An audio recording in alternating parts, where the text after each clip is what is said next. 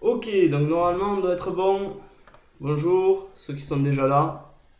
Pas beaucoup pour l'instant.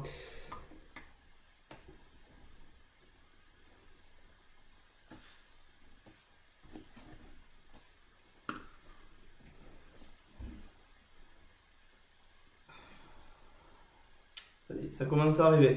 Donc, ceux qui sont déjà là, donc bonjour, vous me mettez vos prénoms dans le chat sans plus tarder.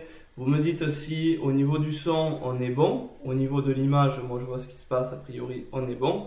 On a à peu près un retard euh, entre le direct. Ah, donc on a déjà du monde, oui. Euh, donc on a un petit retard de 30 secondes entre le direct et l'image, mais euh, ça va bien se passer. Donc on a Louis, Pauline, bonjour au fur à mesure que vous arrivez. Julien.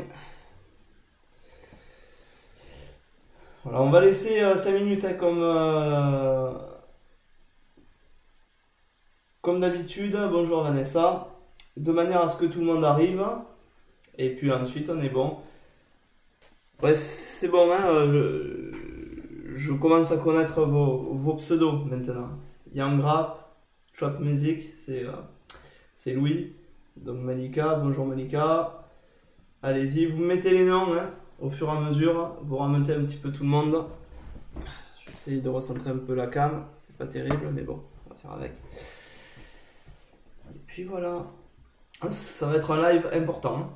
Donc, euh, ceux qui ne sont pas encore là, vous leur dites de venir. Bonjour Margot. Allez, on est neuf. On va attendre que tout le monde arrive. Bonjour Clara. Pour l'instant, je vais voir ce que font les TS.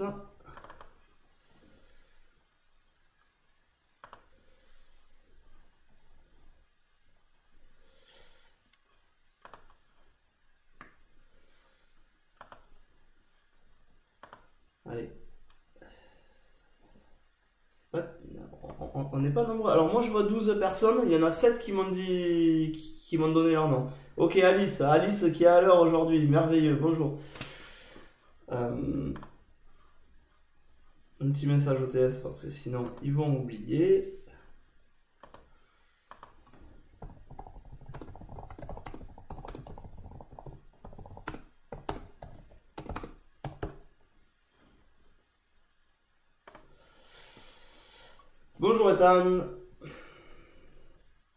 Allez, on est 12. C'est pas beaucoup 12. Hein.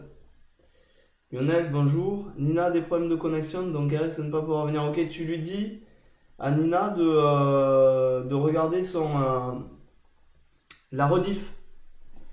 Mais bon, euh, ça fait plusieurs moments, ça fait plusieurs fois qu'elle n'est pas là. donc tu lui dis de regarder la rediff parce qu'il y a des questions qui, qui la concernent. D'ailleurs, je vais prendre son mail.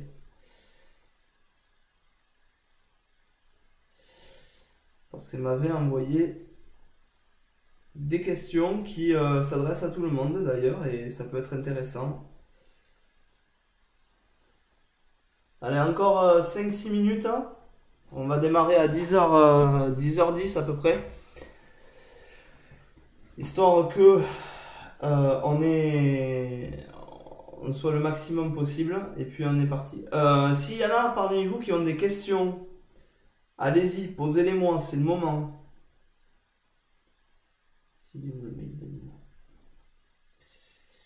Posez-les-moi, au moins je peux déjà commencer à organiser mon, mon live en conséquence.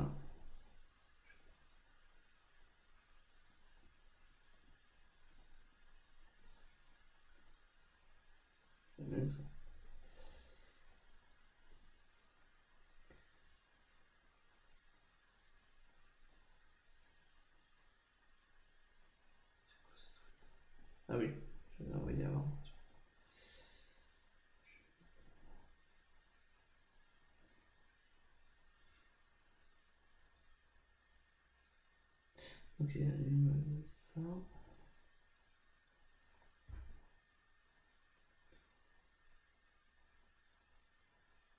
Je l'ai pas?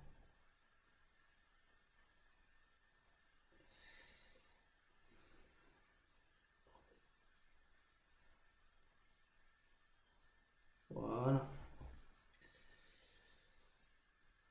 Ok. Alison, bonjour.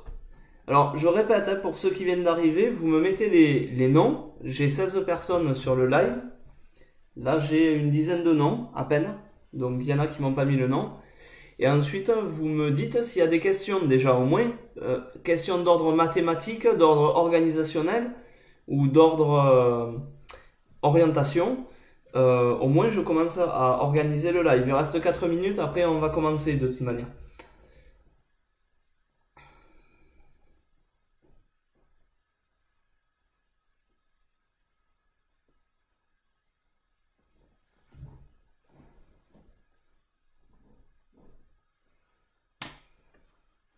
Pas beaucoup quand même.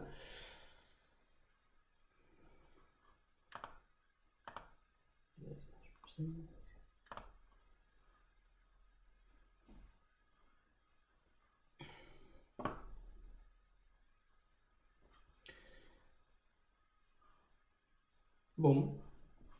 Mais on va y aller, hein. on va pas attendre euh, plus de temps. Ok, euh, donc bonjour à toutes et à tous. Euh, aujourd'hui on va parler de pas mal de choses, donc c'est un live très important. Là j'ai fait l'appel, hein. il y a plus de la moitié, même il y a qu'un tiers des élèves qui est, qui, est présent. c'est pas normal. Donc vous dites bien aux autres de prendre la rediffusion du live et de toute manière à chaque fois, je mets une note euh, d'assiduité. Alors, ça me permet déjà de vous parler un petit peu au niveau organisation. Voilà. Donc, Clara euh, me coupe l'herbe sous le pied, mais c'est exactement euh, ce dont je vais parler déjà. Pour les nouveaux cours sur les fonctions, quand rentre le plan de travail Alors, ok, je vais répondre à tout ça maintenant. Donc, ouvrez bien les oreilles, les yeux, parce que je vais peut-être euh, taper aussi dans le chat. Euh, et prenez un stylo et un papier, histoire de pouvoir prendre des notes. Ça, ça peut être intéressant aussi. D'accord?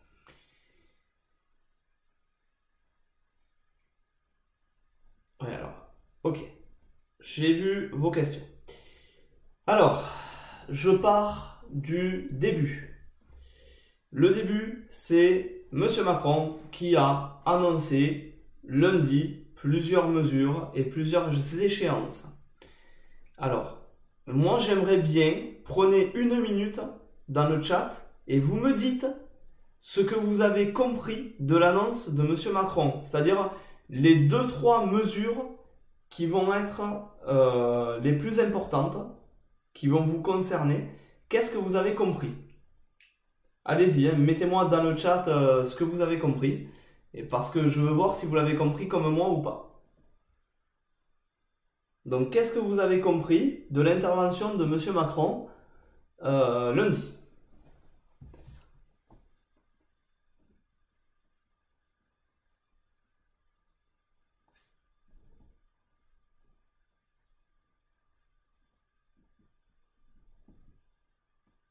Mettez-moi dans le chat ce que vous avez compris là?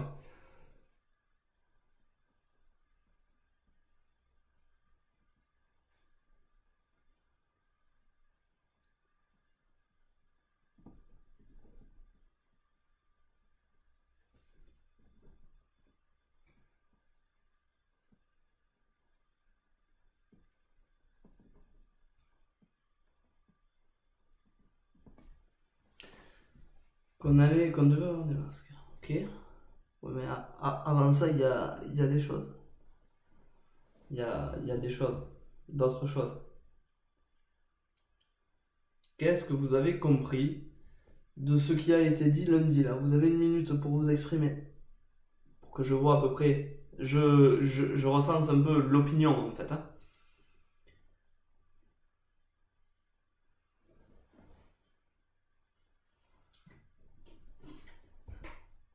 que vous l'avez écouté au moins Est-ce que vous avez écouté des passages.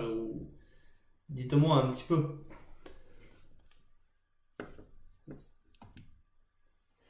Troisième trimestre ne compte pas. Ah ouais, d'accord. Donc, euh, ok. Vous n'avez pas tout compris. Qui veut réouvrir les en respectant les gestes barrières. Ah ouais? Ok.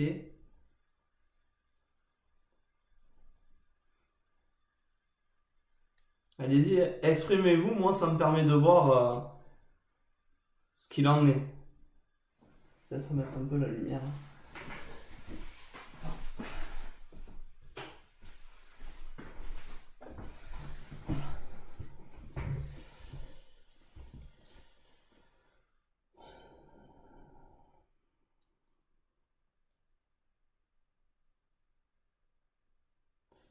C'est tout là, il n'y a que trois élèves qui ont compris des choses à ce qu'a dit Monsieur Macron.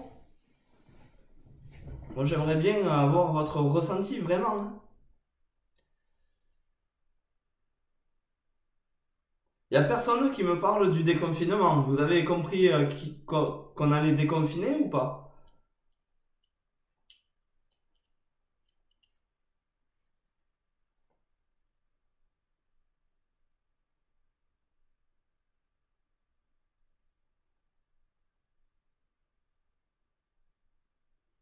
Bon. Ok. Encore une minute de retour là et on va on va faire un petit peu le, le, débriefing.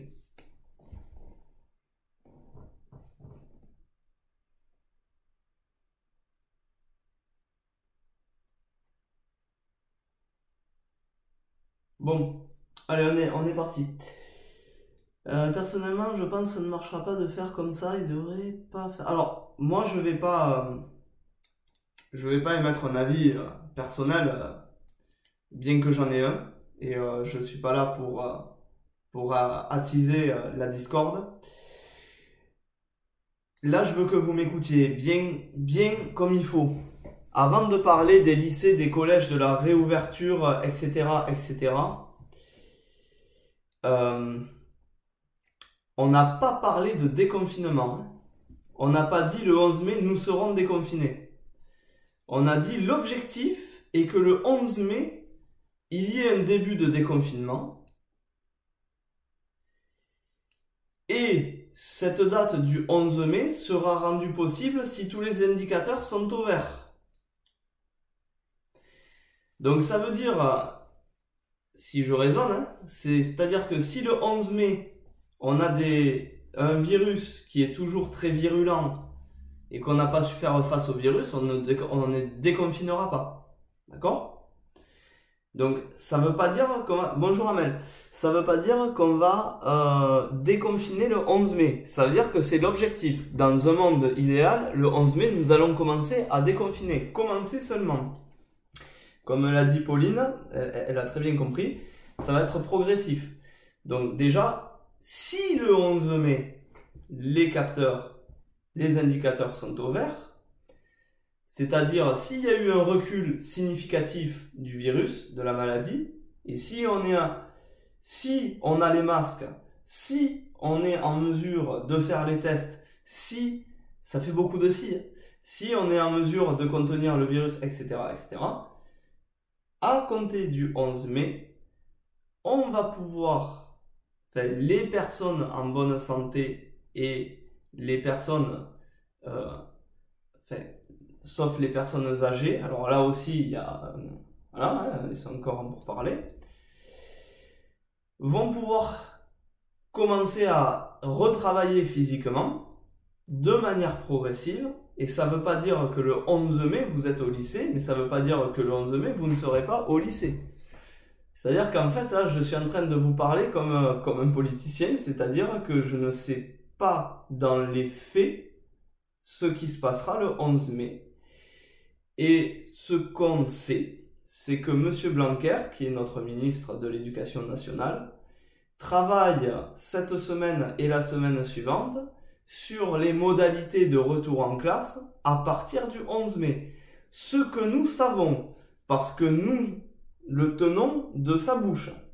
Ce que nous savons, c'est que si déconfinement à partir du 11 mai, il y a, dans l'hypothèse où le 11 mai tout irait mieux, les écoles, enfin les crèches, les écoles, les collèges et les lycées rouvriront progressivement. Qu'est-ce que ça veut dire progressivement? Ça veut dire tout et son contraire. C'est-à-dire que là où on ne sait pas ce qui va se passer, c'est qu'on ne sait pas ce que ça veut dire progressivement. Par contre, ce qu'on sait, c'est que les mois de mai et de juin ne seront pas des mois de cours habituels. C'est-à-dire que vous n'aurez pas un emploi du temps habituel, vous ne serez certainement pas en classe entière, et ça, il est très simple de le comprendre. Monsieur Blanquer a dit que la reprise se ferait dans le cadre du respect des mesures barrières, et vous savez qu'il faut euh, laisser un rayon d'un mètre entre vous et toute autre personne. Alors maintenant, je vais vous amener à réfléchir un petit peu. Projetez-vous dans une classe. Vous devez avoir absolument personne à un mètre à la ronde, c'est-à-dire un mètre à gauche, un mètre à droite, un mètre derrière et un mètre devant. Donc là, vous êtes 35 dans la classe. Ça veut dire que pour que ce soit possible, pour moi, il faut une classe à 10, 12 élèves. C'est-à-dire qu'on va raisonner en tiers de classe ou au pire en demi-classe. Mais je ne vois pas comment on pourrait avoir plus de 18 élèves, même 18 c'est beaucoup, dans une classe en même temps.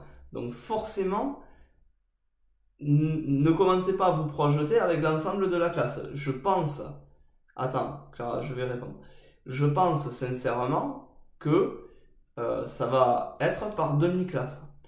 Ensuite, quel cours va-t-on privilégier?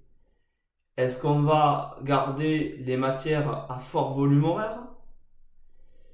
Est-ce qu'on va vous faire rentrer vous en premier, sachant que vous n'avez pas d'examen Parce que contrairement à ce que quelqu'un m'a dit, non, la classe en 4 ne sera pas possible. Euh, parce que contrairement à ce qu'on m'a dit, il y aura un bac cette année. Donc avec notamment les oraux de, français. Donc on peut imaginer que les, euh, les, cours prioritaires au lycée soient les cours de première de français. On peut l'imaginer. On peut imaginer aussi que euh, bien, on fasse rentrer les terminales. Mais vous aussi, vous allez finir par rentrer, mais je ne sais pas à quel moment, je ne sais pas si ce sera le 11 mai, je ne sais pas si ce sera une semaine après, voilà. Le but de tout ceci, c'est de vous ramener sur les bancs de l'école. Euh. Alors attends, attends, attends. Euh, on en parlera après, Nathan. On en parlera après. Ça se discute, effectivement. Ça se discute. Mais voilà. Donc, voilà ce qu'a dit Monsieur Blanquer.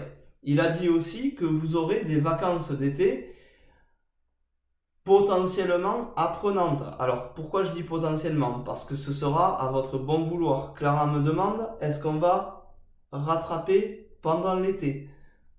Si tu veux, tu pourras, puisque M. Blanquer a dit que les établissements scolaires seront ouverts pendant l'été, de manière à assurer des cours de soutien. Mais si tu ne veux pas, tu ne viens pas pendant l'été. Et là aussi, je ne sais pas du tout comment ça va se passer. Ça va, il va y avoir des professeurs qui vont euh, être, euh, qui vont devoir se porter volontaires pour assurer des cours de soutien. Est-ce qu'il y en aura suffisamment? Et ça, très sincèrement, on n'en sait rien du tout. À quel moment Parce que il, me paraît quand même illusoire de vouloir faire des cours en plein été, 40 degrés dans les salles. Ça me semble difficile. Ah, ben, on a Alexandre. Alexandre, si tu me dis pas que, que tu es là, voilà. Moi, je suis pas là pour critiquer, je suis là pour être très factuel. D'accord? Ce sont des faits. Les faits, c'est que le 11 mai, si tout va bien, nous reprendrons progressivement le chemin des cours. Point barre. Mais ça veut dire que jusqu'au 11 mai, nous sommes confinés et que potentiellement après le 11 mai, nous serons encore confinés. Ça dépend de l'avancée du virus. Et ce dont j'ai peur, et moi je tiens à vous alerter sur ça, c'est que pendant mes rares sorties, vous savez qu'on a le droit à une heure par jour et je n'en profite pas tous les jours, mais je suis sorti deux fois cette semaine dans des endroits qui respectent euh, le, le protocole de sortie et je peux vous assurer qu'il y a, pour moi, bonjour Camille, un laisser-aller général depuis que M. Macron a, euh, a fait son, son, allocution. Donc, je tiens quand même à vous dire, attention, vous de votre côté, respectez bien le confinement, respectez bien, euh, respectez bien les gestes barrières, parce que nous ne sommes pas en déconfinement.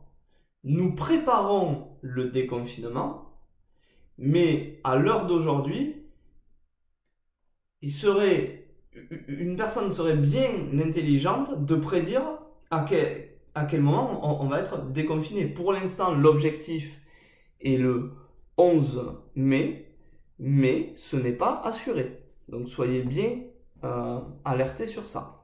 Moi, maintenant, pour organiser la suite des événements, c'est quoi une allocution? Euh, C'est le discours de M. Macron, euh, de lundi, de lundi soir.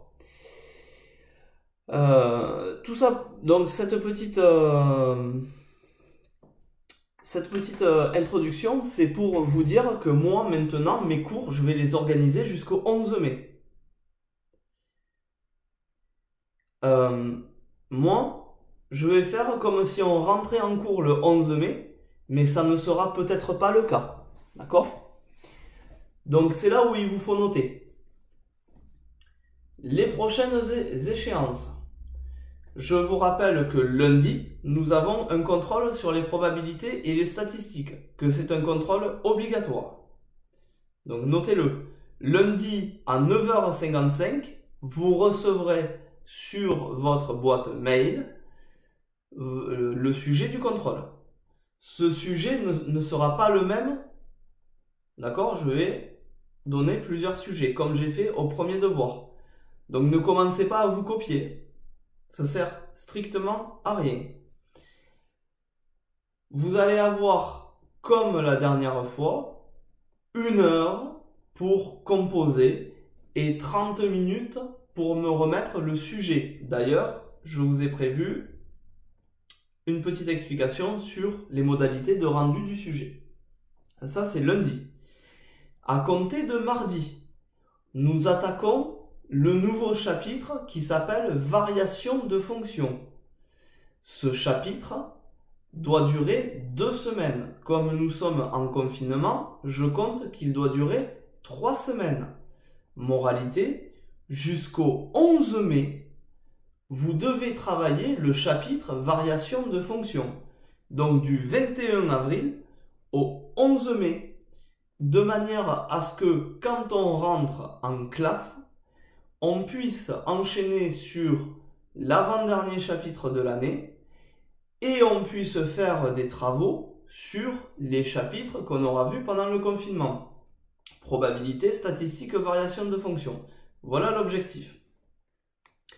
Pour ce chapitre, variation de fonction, j'ai déjà mis trois vidéos explicatives du cours. Ce cours-là, je vais vous le mettre sur Pronote et je vais vous le transférer par mail à compter de mardi. J'en profite pour répondre à la question de Lionel. Accompagneront ce cours l'agenda, le plan de travail, donc il me demandait, le corriger. Euh, voilà en gros ce que vous aurez dans le mail. Donc quatre documents qui se retrouveront sur Pronote. Comme je vous l'ai dit, il y aura trois vidéos explicatives du cours et cinq vidéos explicatives d'exercices sur ma chaîne YouTube. Donc mathématiques.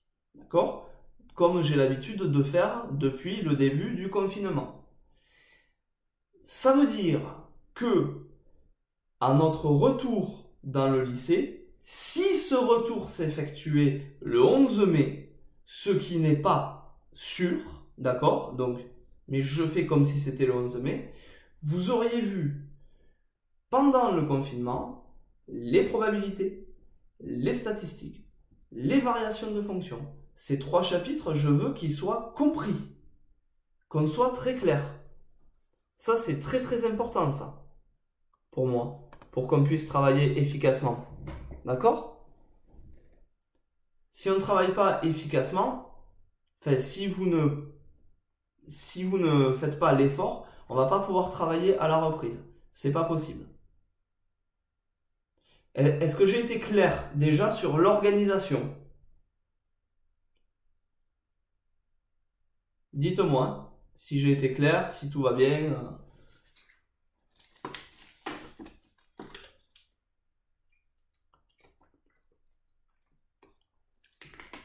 Et oui, et bien entendu, tous les vendredis à 10h, comme d'habitude, il y a live obligatoire. Voilà, ça c'est très clair. À chaque fois, je fais l'appel. Là, je vois qu'il manque des personnes.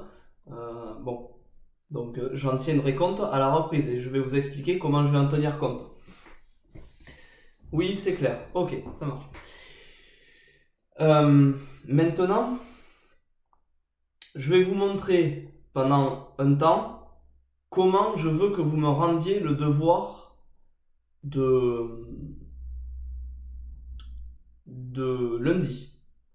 Donc, là, pendant ce temps-là, je ne vais pas pouvoir lire le chat. S'il y a des questions, vous me les tapez et j'y réponds après. Sachant que cette manipulation, vous pouvez la faire avec n'importe quel ordinateur, parce que vous pouvez la faire avec des logiciels qui euh, sont gratuits, et notamment avec l'ordinateur région. Donc maintenant, je vous montre.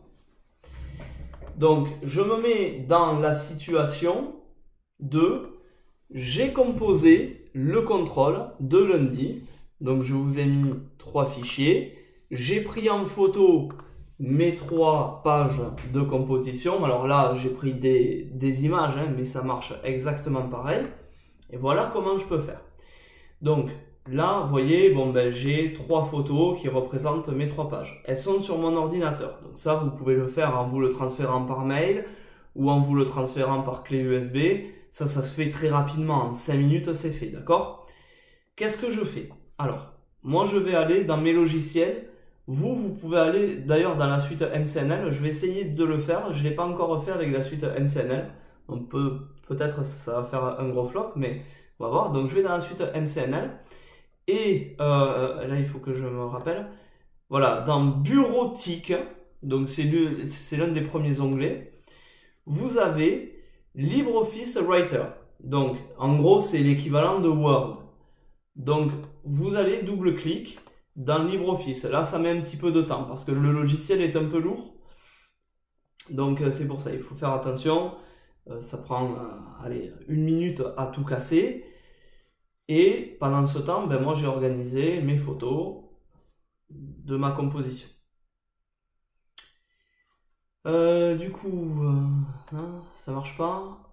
si, il va marcher. Ça prend un petit peu de temps. Moi, je l'ai pas installé sur la suite libre, euh, sur la suite AMCNL. Donc c'est pour ça que je suis, je vous garantis pas le résultat. A priori, ça marche plutôt bien. Voilà. Donc là, vous allez avoir vous de quoi, euh, par exemple, là, vous avez de quoi écrire des maths. Bon, c'est très bien, mais grosso modo, c'est pas ce qui m'intéresse. Donc là, vous avez votre curseur et vous allez me mettre à chaque fois vos photos, donc une par une. Donc vous les faites glisser sur votre icône, là en bas, en maintenant le clic, et vous mettez, voilà, là c'est la première photo, admettons. Je vais sur la page suivante, ce sera ma deuxième page, donc je prends mon Mathématique 2, je fais glisser sur l'icône, ça va ouvrir la fenêtre, et euh, je le mets, tac tac, voilà, je suis content, j'ai mis. Et je fais pareil avec ma troisième. Vous voyez, je me presse pas. Hein. C'est pour vous montrer qu'en 30 minutes, c'est largement jouable. Et voilà, j'ai ma troisième page. Alors, là, ce que vous allez faire, vous allez l'enregistrer, tout d'abord. Donc, l'enregistrer, c'est la petite disquette qui est là, ou euh, fichier, enregistrer sous, ça marche euh, pareil. Alors là, c'est là où il faut faire très attention. Donc, moi, je vais l'enregistrer sur mon bureau. Voilà. Et vous mettez uniquement votre nom de famille. Donc moi je vais faire comme si c'était mathématique, mon nom de famille. Donc je mets mathématique. Voilà, c'est tout. N'allez pas me chercher mathématique, DS, euh, maths euh, du 20 avril. De... Non, mathématique, votre nom de famille. Euh, je m'appelle Dupont, je mets Dupont. Voilà, tac, enregistré. Le fichier est enregistré. Alors, le problème, c'est que sur mon ordinateur, il va s'ouvrir comme je l'ai conçu. Mais admettons que je le transfère à un autre ordinateur, il peut y avoir des bugs d'affichage. Donc je ne vais pas le laisser sous cette forme, il va falloir que je le transforme en document portable. Et le document portable, c'est ce qu'on appelle le PDF. Donc là, en haut, à ce niveau-là, regardez ma souris, à ce niveau-là, vous avez une petite icône avec un triangle rouge, un ruban rouge, enfin un triangle euh, convexe, je crois que c'est ça, convexe rouge, euh, exporté au format PDF. Donc, vous allez faire ça, je me demande si c'est pas dans le fichier. D'ailleurs, dans le fichier, vous avez aussi exporté. Hein. Et si vous faites exporter, vous pouvez mettre document PDF. Ça va un petit peu moins vite, mais euh, voilà. Donc, moi je vais l'exporter en cliquant sur ce petit truc là. Je vais le mettre dans bureau et je vais garder le même nom, mathématique. Donc euh, vous appelez Dupont, vous mettez Dupont, c'est tout. Ça va le faire, tac tac tac. Ça prend un petit peu de temps et là on va l'ouvrir. C'est là le moment de vérité. Et là, vous voyez, ça s'affiche comme ça. Alors vous allez me dire, ouais, mais ça s'affiche comme le document initial. Oui, mais ça va s'afficher comme ça sur tous les ordinateurs, notamment sur le mien. Et moi, je vais pouvoir corriger. Parce que donc là, je remercie une mère d'élèves qui m'a communiqué un logiciel. Je fais pas de placement de produit, mais grâce à ce logiciel-là, PDF Reader by Exodo, je peux, et je vais vous montrer comment ça fonctionne, ouvrir votre PDF donc, euh, admettons, euh, je vais le chercher ici. Tac, donc moi je, j'appelle mathématique. Hop, il va s'ouvrir. Et qu'est-ce que je peux faire?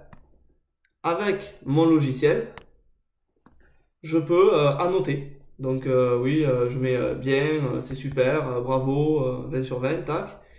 Et là, en l'annotant, ça me permet de le corriger. Et donc de corriger directement sur votre copie. Ok? Donc le but de la manœuvre, c'est quoi? Le but de la manœuvre, c'est d'avoir pour tout le monde un document lisible qui m'est envoyé.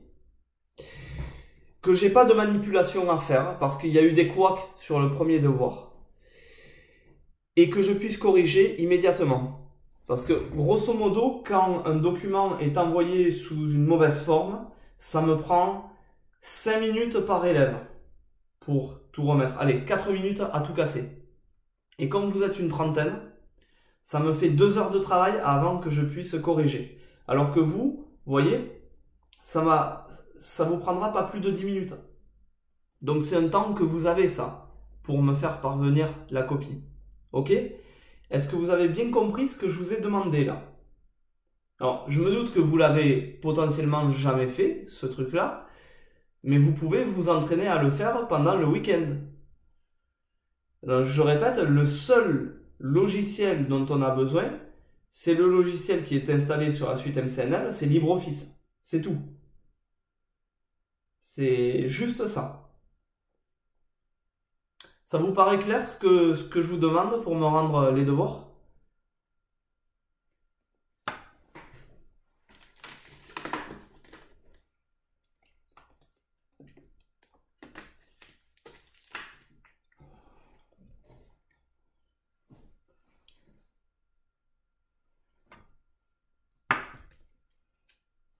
C'est bon, tout le monde saura refaire? D'ailleurs, ça va être simple, je, vais laisser le, la rediffusion du live.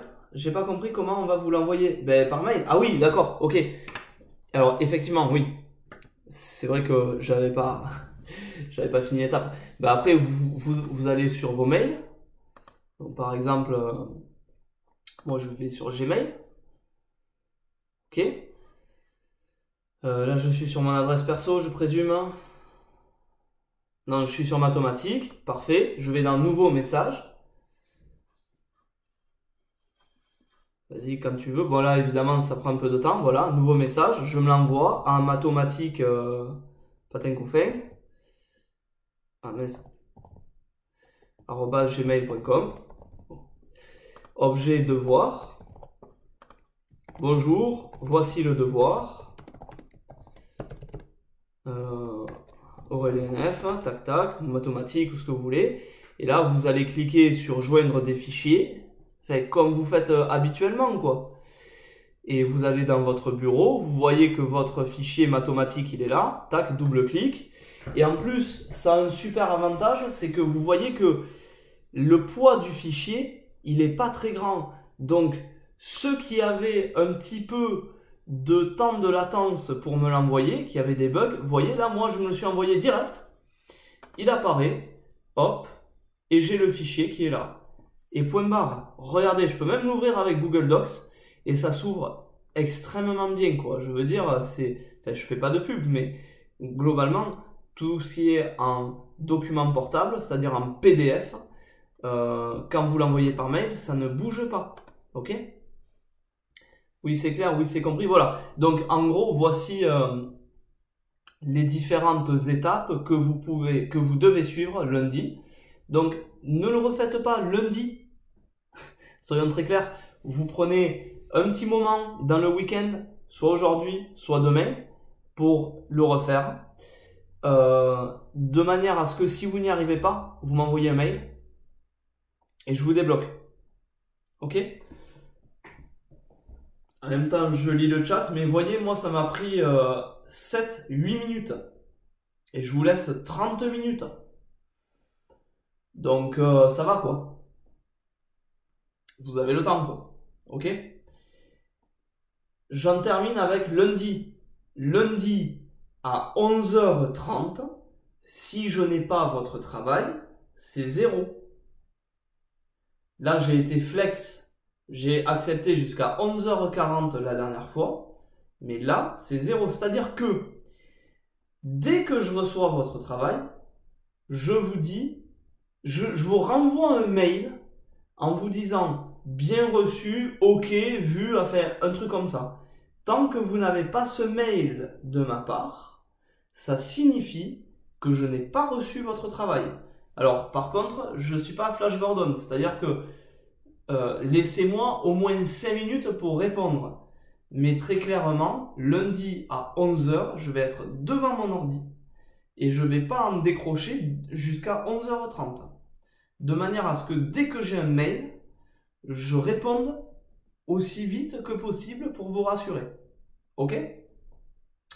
Donc voilà pour ça. Est-ce qu'on est bien d'accord sur les conditions du devoir de lundi? Et ce que j'attends de vous?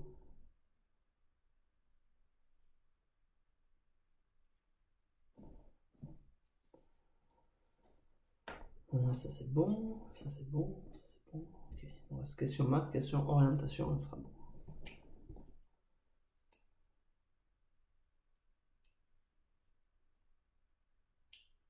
Camille, pour l'envoi, c'est bon, hein on passe par la boîte mail, on joint la...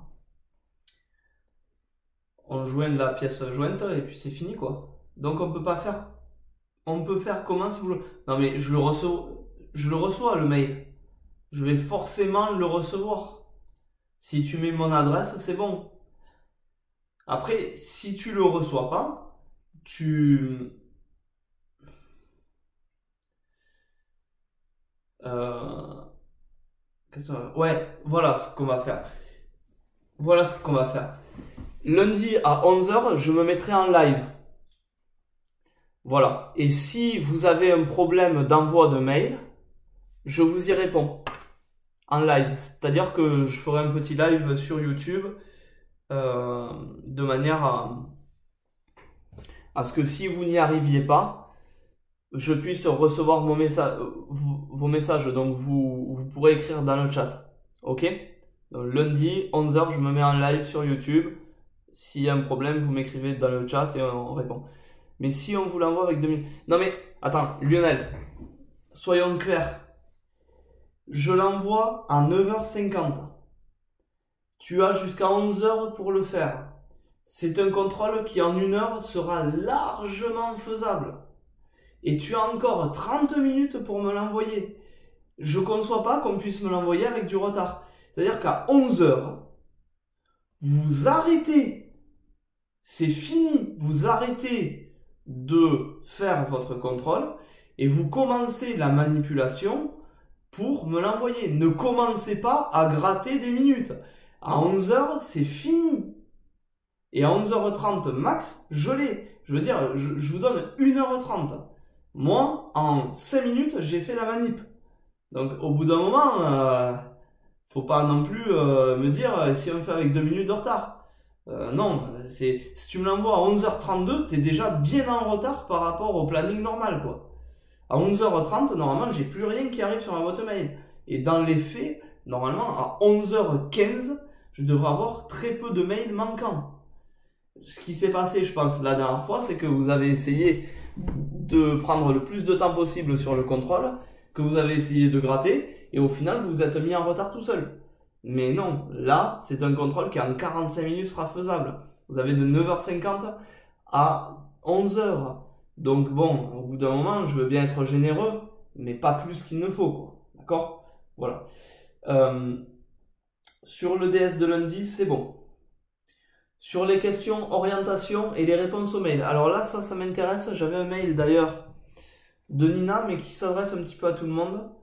Donc, je vais... Euh, je vais le reprendre devant les yeux. Je le retrouve d'abord. Voilà. Alors, c'est Nina qui me demandait. Je voulais savoir si les notes qu'on va avoir pendant le confinement vont compter dans la moyenne, si vous allez prendre en compte que le premier et le deuxième trimestre. Bon, alors déjà, clairement, à sa question, je répondrai en me basant. Je sais pas, Clara, combien il y a, d'exercices. Euh, je vais me baser sur le fait qu'on reprendra le 11 mai. Mais, encore une fois, si ça venait à évoluer, je m'adapterai. Effectivement, seront prises en compte toutes les notes du premier et du second trimestre. Mais, j'ai déjà des notes pour le troisième trimestre. Notamment celles de deux contrôles un sur les fonctions affines, un sur les équations produits, équations quotient, que nous avons traité hors confinement. Donc ça veut dire que ces deux notes déjà constituent une moyenne de maths. Moralité, vous avez des notes pour le troisième trimestre. D'accord? Ensuite, est-ce que les notes pendant le confinement vont compter? Oui et non. Super réponse. Merci monsieur oui, elles vont compter dans le sens où euh, ça va me donner, euh, par exemple, la note du contrôle de, lundi peut compter euh, pour valoriser la moyenne dans, un certain, dans une certaine proportion que je n'ai pas encore définie. Je vais voir. Ce qui va compter aussi, c'est l'assiduité. C'est-à-dire que je vous ai dit que tous les lives étaient obligatoires et que à chaque live, je fais l'appel. Donc depuis que je vous ai dit ça, d'ailleurs depuis le 3 avril, je fais systématiquement l'appel sur les lives. Donc j'ai dans l'esprit de donner une note d'assiduité et de participation euh, sur la présence dans les lives, sur euh, est-ce que j'ai bien fait tous les travaux que les professeurs m'ont demandé, etc., etc. Quand on va rentrer en classe, la première des choses que je vais faire, c'est faire le tour des professeurs en tant que prof principal et voir qui aura été sérieux pendant le confinement, qui aura totalement déserté les travaux proposés pendant le confinement. Et du coup, ça va vous donner une note d'implication. Donc oui, le confinement va avoir son rôle à jouer. Euh, pas dans le sens où on fait des contrôles, il y a de la participation. Eh ben, le fait d'être là, c'est la participation. Euh, pas dans le sens où on fait des contrôles qui vont rentrer et qui vont influencer la moyenne, mais dans le sens où est-ce que vous avez été sérieux, oui ou non, pendant le confinement. C'est tout.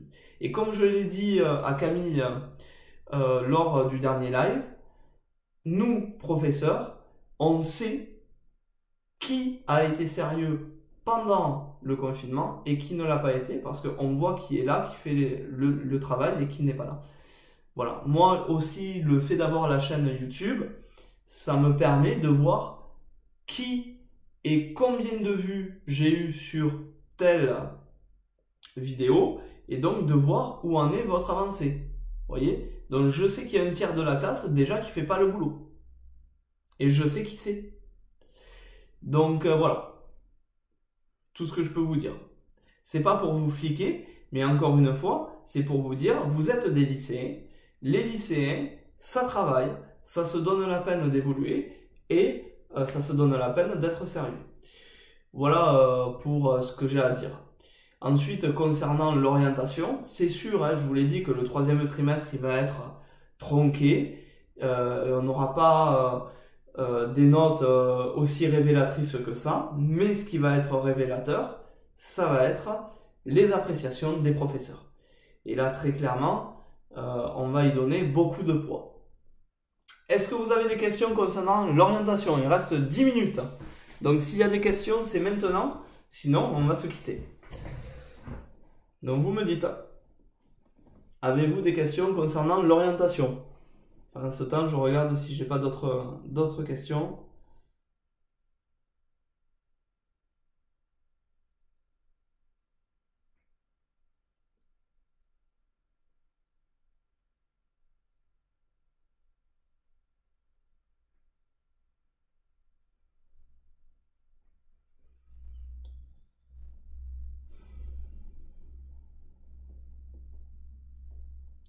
Il faut absolument regarder. Ben oui, Clara, euh, oui, il faut les regarder. Enfin, je trouve c'est c'est important quoi. C'est comme si tu me disais, euh, euh, est-ce qu'il faut aller à tous les cours? Voilà, c'est la même. C'est, je, je, me fais pas de la pub, hein, j'en ai rien à faire d'avoir 100 000 vues ou 2 vues. moi, je vous fais des vidéos pour vous mettre en situation de cours pour vous expliquer les choses. Et je vois pas comment, sans les vidéos, euh, tu, peux, euh, tu peux arriver à, à, comprendre tout le cours. J'ai un peu de mal à comprendre.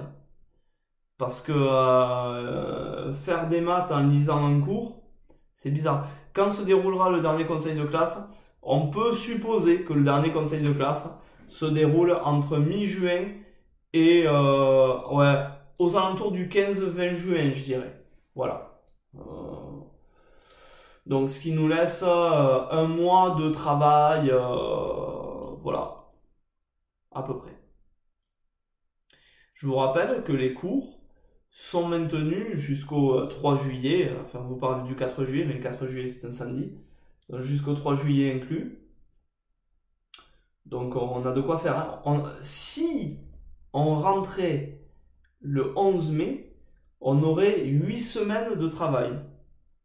après, il faut nuancer ça en disant que vous ne serez pas en cours euh, de manière normale et que donc 8 semaines de travail euh, n'auront pas la même valeur que 8 semaines de travail normal. Euh, donc, on va quand même avoir, je dirais, un bon mois de travail pour, pour faire les choses. En plus, ce travail sera personnalisé, hein, comme on, va être à, effectif réduit. Il y a moyen qu'on fasse des petites révisions, des trucs comme ça. Surtout que, sincèrement, hein, il nous reste à peu près 4 euh, semaines de travail sur le programme à partir du 11 mai. Donc euh, on aura forcément des séances qui seront plus, euh, plus personnalisées. Est-ce que vous avez d'autres questions sur euh, l'orientation, sur l'organisation? Euh, voilà, moi ce que je vous demande hein, euh, en tant que citoyen, avant tout, c'est de ne pas vous emballer. Je vais y répondre, Malika, de ne pas vous emballer. le 11 mai, c'est un objectif qui ne sera possible que si on est tous en confinement jusque-là de manière à ce que le virus évolue de manière positive pour nous, donc euh, qui se dégrade. Et puis euh, attention, le 11 mai, c'est pas le déconfinement, quoi. C'est pas le déconfinement. C'est on a prévu le début du déconfinement, mais on a prévu le début. Donc ça fait deux nuances, d'accord? Il faut faire attention à ça. Parce que là, euh, moi je vois sur les réseaux sociaux, c'est happy hour, c'est-à-dire 11 mai déconfinement. Voilà ce qui a été retenu. Non, c'est pas ça. Vous pouvez, euh, je pense, voir le discours de, de M. Macron euh, en replay. Alors évidemment, je me doute que pour des jeunes, hein, c'est lourd. mais les 15 premières minutes, je pense, valent vraiment le coup d'être regardées parce que regardez comment il a construit ses phrases il les a pas construits à l'affirmative. Euh, c'est du conditionnel. Si on a ça et si on a ça, alors on a ça. D'accord? Ça, attention. Est-ce qu'ils vont prendre en compte nos voeux Alors, Malika, euh, on a travaillé, nous, en continuité toute l'année. C'est-à-dire que il y a une cohérence entre tes vœux du premier trimestre, du second trimestre et du troisième trimestre. C'est-à-dire, admettons, euh, quelqu'un qui voudrait s'orienter en euh, ST2S. Ok, premier trimestre, deuxième trimestre, il me met première ST2S, très bien. Et au troisième trimestre, il me met première générale, humanité, littérature, philosophie, langue vivante, anglais et histoire géo. Il n'y a aucune cohérence. ST2S, c'est une filière technologique scientifique. Et après, on me dit première générale littéraire. Il n'y a pas de cohérence. Le but, Malika, c'est de rester cohérent sur les vœux du troisième trimestre. Et je pense qu'en plus, comme le troisième trimestre va être tronqué, il va falloir rester dans la continuité des deux premiers. C'est-à-dire que si tu demandes en gros euh, première technologique euh, lors des deux premiers trimestres, qu'on te met un avis favorable sur la première technologique et défavorable sur la première générale, au, troisième trimestre, tu as tout intérêt à demander première technologique. D'accord? Faut rester dans cette optique de je fais pas n'importe quoi. Surtout qu'au troisième trimestre, comme je l'ai dit, ben, on n'a que les appréciations et quelques notes. Donc on va pas faire un virage à 180 degrés. Ok? Comme je l'ai dit euh, vendredi dernier, c'est l'ensemble de l'année qui va compter.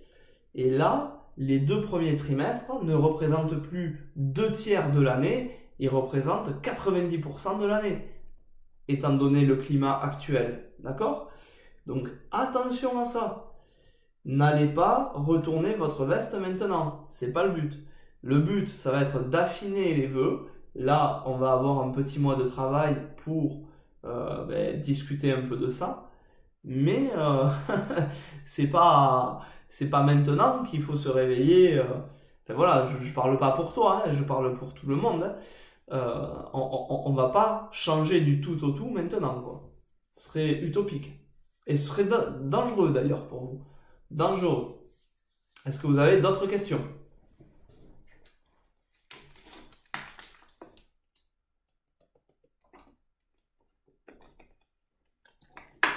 Sur l'orientation, ça va?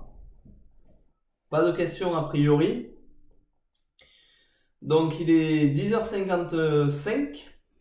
Donc je vais clore le live pour les secondes. Néanmoins, je vais garder le flux ouvert pour les terminales qui vont arriver. Euh, ils sont bruyants en plus. Euh, on se retrouve donc lundi. Lundi, rendez-vous 9h50 devant vos ordinateurs. Travail obligatoire sur les probabilités, les statistiques, retour des copies avant 11h30 et à partir de 11h, euh, je me mets en live sur YouTube de manière à gérer les petits euh, désagréments euh, liés au renvoi de mail. Voilà.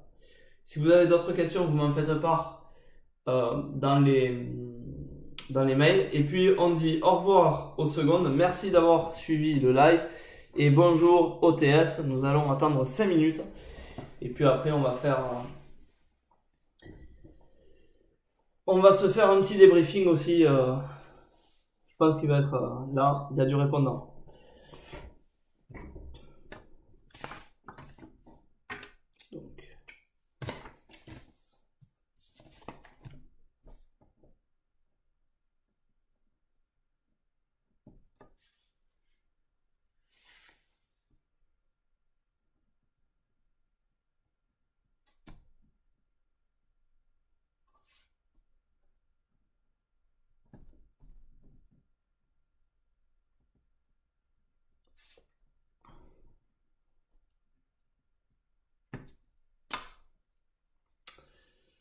Revoir les secondes, merci d'avoir été là, merci, bonne fin de matinée également.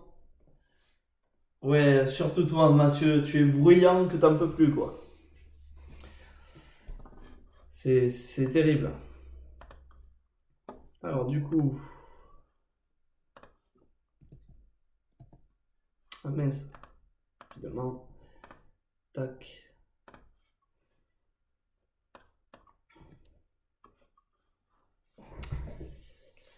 Alors, qui j'ai là De gentil? Alors, on a Simon, on a Nathan, on a Damien, Mathieu, Noémie, euh, Tom, Nicolas Lafare. Bonjour, bonjour à tous. N'hésitez pas à me mettre les noms dans le chat, enfin, ou bonjour euh, quand vous avez un pseudo euh, lisible, c'est pas la peine de mettre votre nom à côté, hein, bien évidemment. Antoine. Ok, on a du monde. On va attendre encore un petit peu parce que c'était 11h le live. Cookie Gaming, euh, Oui, c'est Nicolas Mas. Bonjour. Eh, je commence à connaître vos pseudos aussi. C'est bon quoi. D'ailleurs, on n'a plus le papa chirurgien de Nicolas Lafare. Non, c'est. C'est dommage, c'était exotique. Ils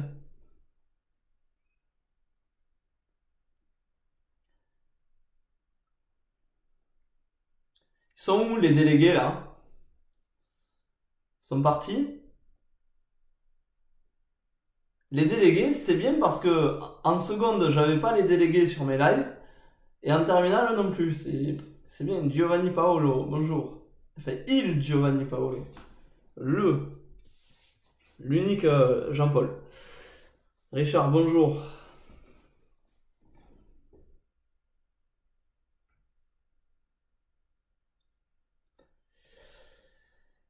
Après.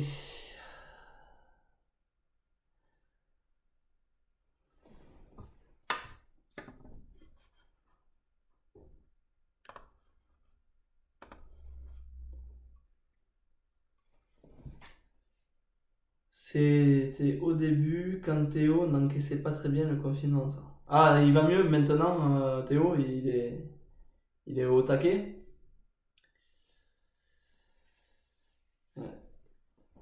Déjà qu'il était perturbé, le pauvre garçon. Mon Dieu.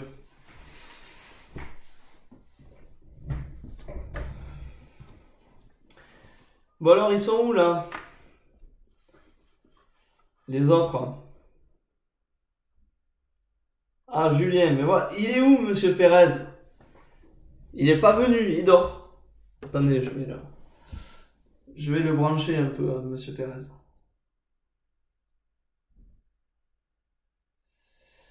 Alors, il est où notre ami là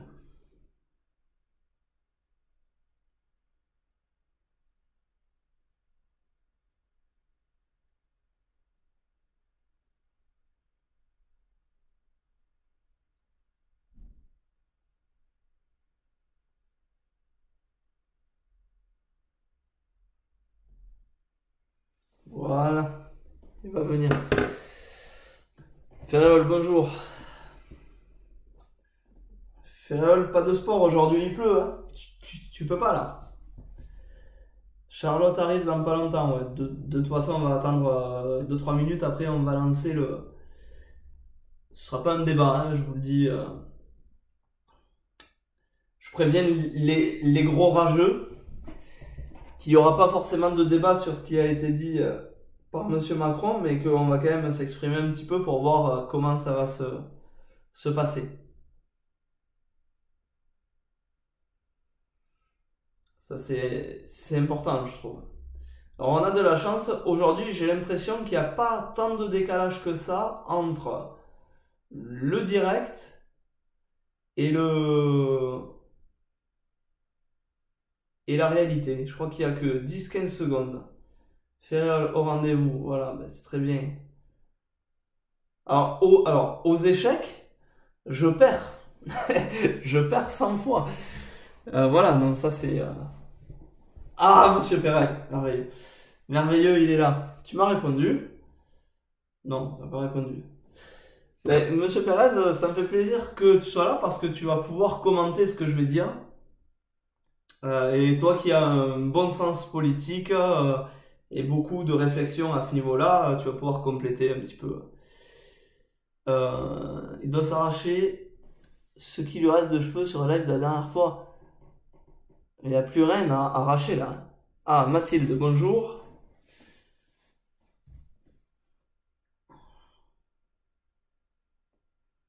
Non mais Monsieur Pérez va apporter, je pense, de la plus-value dans ce live. Vraiment, je,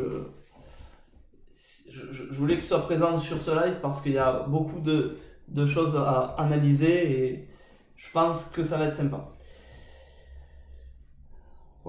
Bon, ben on est parti. De toute manière, euh, euh, concernant euh, les, absents, hein, il y a une rediff de ce live. Donc ils pourront prendre la rediff à partir de 1 heure et 2 minutes. Et puis on est parti. Donc bonjour à tous, bonjour à toutes. Toutes, il y en a, ouais, il y en a deux. Il y a deux toutes. Donc voilà. on va faire d'abord un petit point sur la manière dont vous devez me rendre les devoirs qui a un petit peu évolué. Euh, tout simplement ben, parce que une mère d'élève m'a communiqué un logiciel. Bonjour Jules. Euh, donc Nicolas, Monsieur Pérez, tu as 10 minutes pour rentrer. Euh,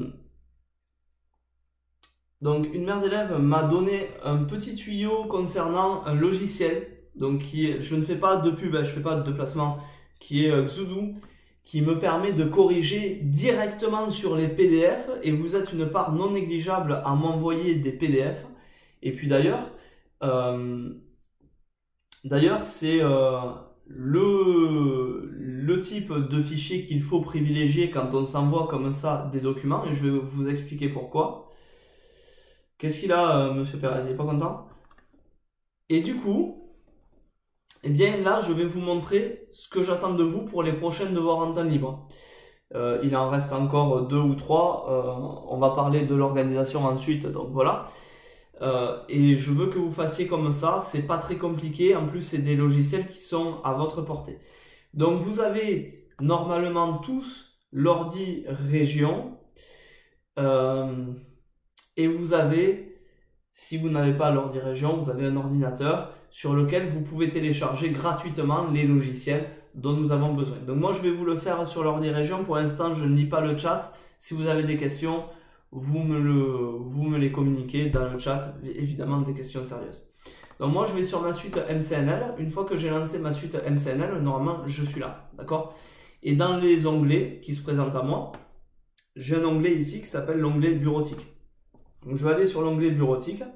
Et nous, on va avoir besoin de LibreOffice Writer. Alors, ce logiciel-là, LibreOffice, de toute manière, vous pouvez, si vous n'avez plus la suite MCNL, le trouver sur Internet. Donc encore une fois, je ne fais pas de pub, c'est juste que ce logiciel, c'est celui qui nous intéresse, il est gratuit, et donc tout le monde peut se le procurer. Bon, il a plusieurs défauts, ce logiciel. Euh, notamment, euh, il est long, il est lourd, euh, on sent que le développement n'a pas été optimisé, mais sur des ordi récents, quand même, il va assez vite. Euh, sur des ordi un petit peu plus anciens, il va pas falloir spammer le clic droit euh, de la souris, hein, il va falloir prendre votre mal en patience. Donc là, ici, vous avez votre logiciel qui s'ouvre et admettons, ici, donc j'ai transféré sur mon ordinateur, sur mon bureau, les photos des copies d'élèves, enfin, de ma copie. euh, admettons, donc là j'ai trois pages, vous allez voir, ça prend 5 minutes. Donc je vais insérer une à une les pages dans mon document euh, LibreOffice. Donc je maintiens le clic sur ma première page et je l'insère dans mon document. Voilà, elle s'insère comme ça. Je vais sur la deuxième page. Je spam hein, comme un idiot bête le, la touche entrée ou je fais un saut de page. Je prends mon mathématique, mon mathématique 2, je le fais glisser sur mon icône en bas là, ça va rouvrir le logiciel et ça va me permettre de copier-glisser ma, mon image. Et ensuite, je retourne sur la page 3 et je fais la même chose. Bon voilà. Alors ceux qui m'écrivent des pavés de 8-9 pages, bon ben vous allez faire ça 8-9 fois. Tant pis pour vous. Voilà. Alors là, vous allez me dire, ouais, ça change absolument rien de ce que vous avez demandé euh, jusqu'ici. Et je vous l'accorde. Seulement, là où il va y avoir un impact direct, c'est que moi, je vais enregistrer ce fichier, donc soit dans le fichier enregistrer sous, soit la petite disquette qui est à droite là. Moi, je vais faire sous enregistrer sous.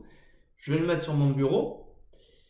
Et le souci, c'est que si je le rouvre sur un autre ordi, les images vont peut-être se décaler. Et c'est ce qui s'est passé cette semaine, enfin la semaine dernière avec les euh, DM3, c'est que les images euh, se sont superposées les unes aux autres sur mon ordinateur. Donc j'ai dû tout recompiler. Enfin bref, ça, a été euh,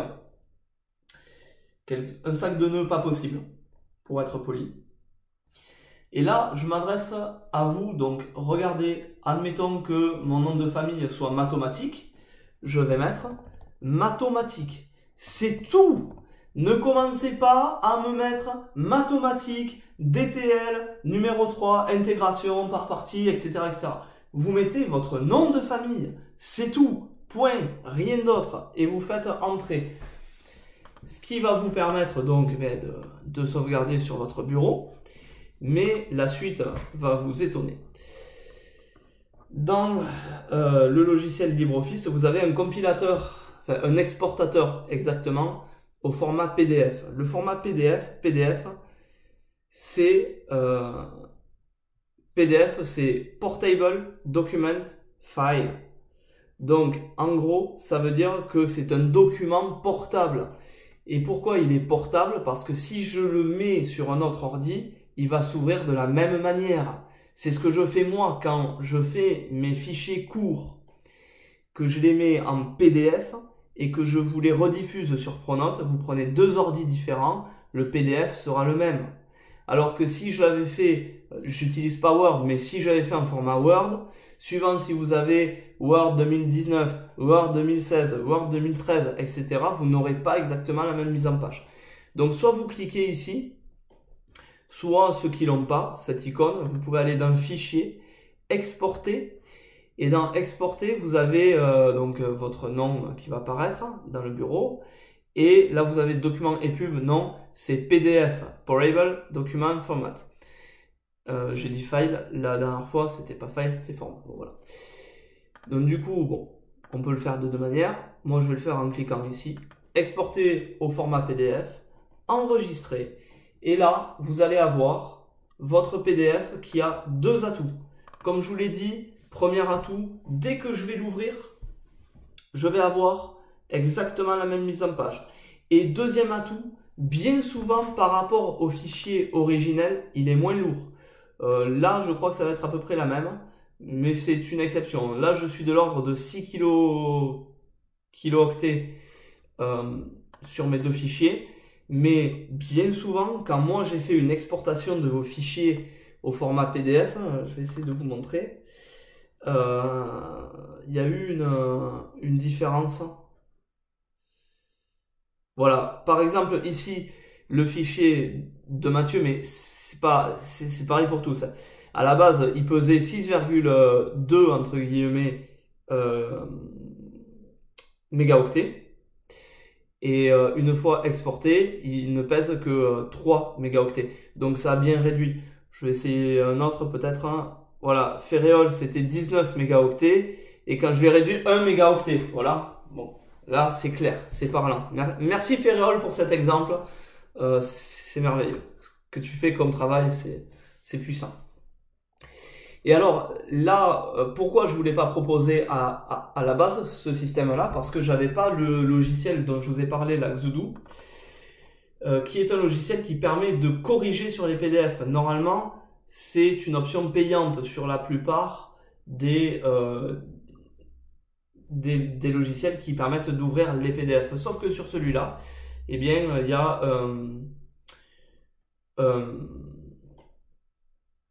on, peut écrire sur le PDF et puis sauvegarder en temps réel. Par exemple, bon, je vous présente un petit peu le truc. Là, ben, j'ai quelque chose qui est bien. Ben, je peux mettre ma note, tac, 5 sur 5. Et puis, donc là, c'est totalement utopique, hein, bien entendu. Et je vais sauvegarder. Et le fait de sauvegarder va me figer mon PDF et du coup va me permettre ensuite de vous le renvoyer. Donc, globalement, moi, ça me sert encore une fois à ne pas faire 30 fois le même travail. Hein. Je l'ai dit à mes secondes. En gros, je mets 5 minutes euh, par copie pour réagencer un petit peu euh, quand, ça a été euh, désorganisé par l'envoi par mail. Et ça arrive sur deux tiers des copies, c'est-à-dire 20 copies sur 30 en gros. Donc 5 minutes pour 20 copies, ça me fait 100 minutes. Et 100 minutes, ça me fait presque 2 heures de travail. Alors que vous, en 5 minutes, c'est fait. Et bien évidemment, ce que vous m'envoyez derrière, euh, avec votre mail, c'est le document PDF. Tout le reste, je m'en fiche. Hein. Vous me joignez pas euh, euh, les images. À partir du moment où vous me joignez que le document PDF, il y a tous les tous les composants de votre fichier qui vont s'exporter en même temps que le PDF. Voilà pour ça. Alors, voyons voir. Ok, j'ai eu des chats, merveilleux. Donc, à Julien, lui il est à la boulangerie, on s'en fout. bonjour Charlotte. Euh, ok. Encore des développeurs Java issus, ça. Quoi? Bref. Toujours eux. Hein. Quand c'est pas opti. Ah oui, d'accord, ok. Évidemment. Ouais, c'est vrai que ton logiciel euh, sur tes calculs, euh, c'était pas opti non plus. Vous écoutez ce qu'il dit, c'est pas intéressant du tout. Non mais. Je ça après. Quoi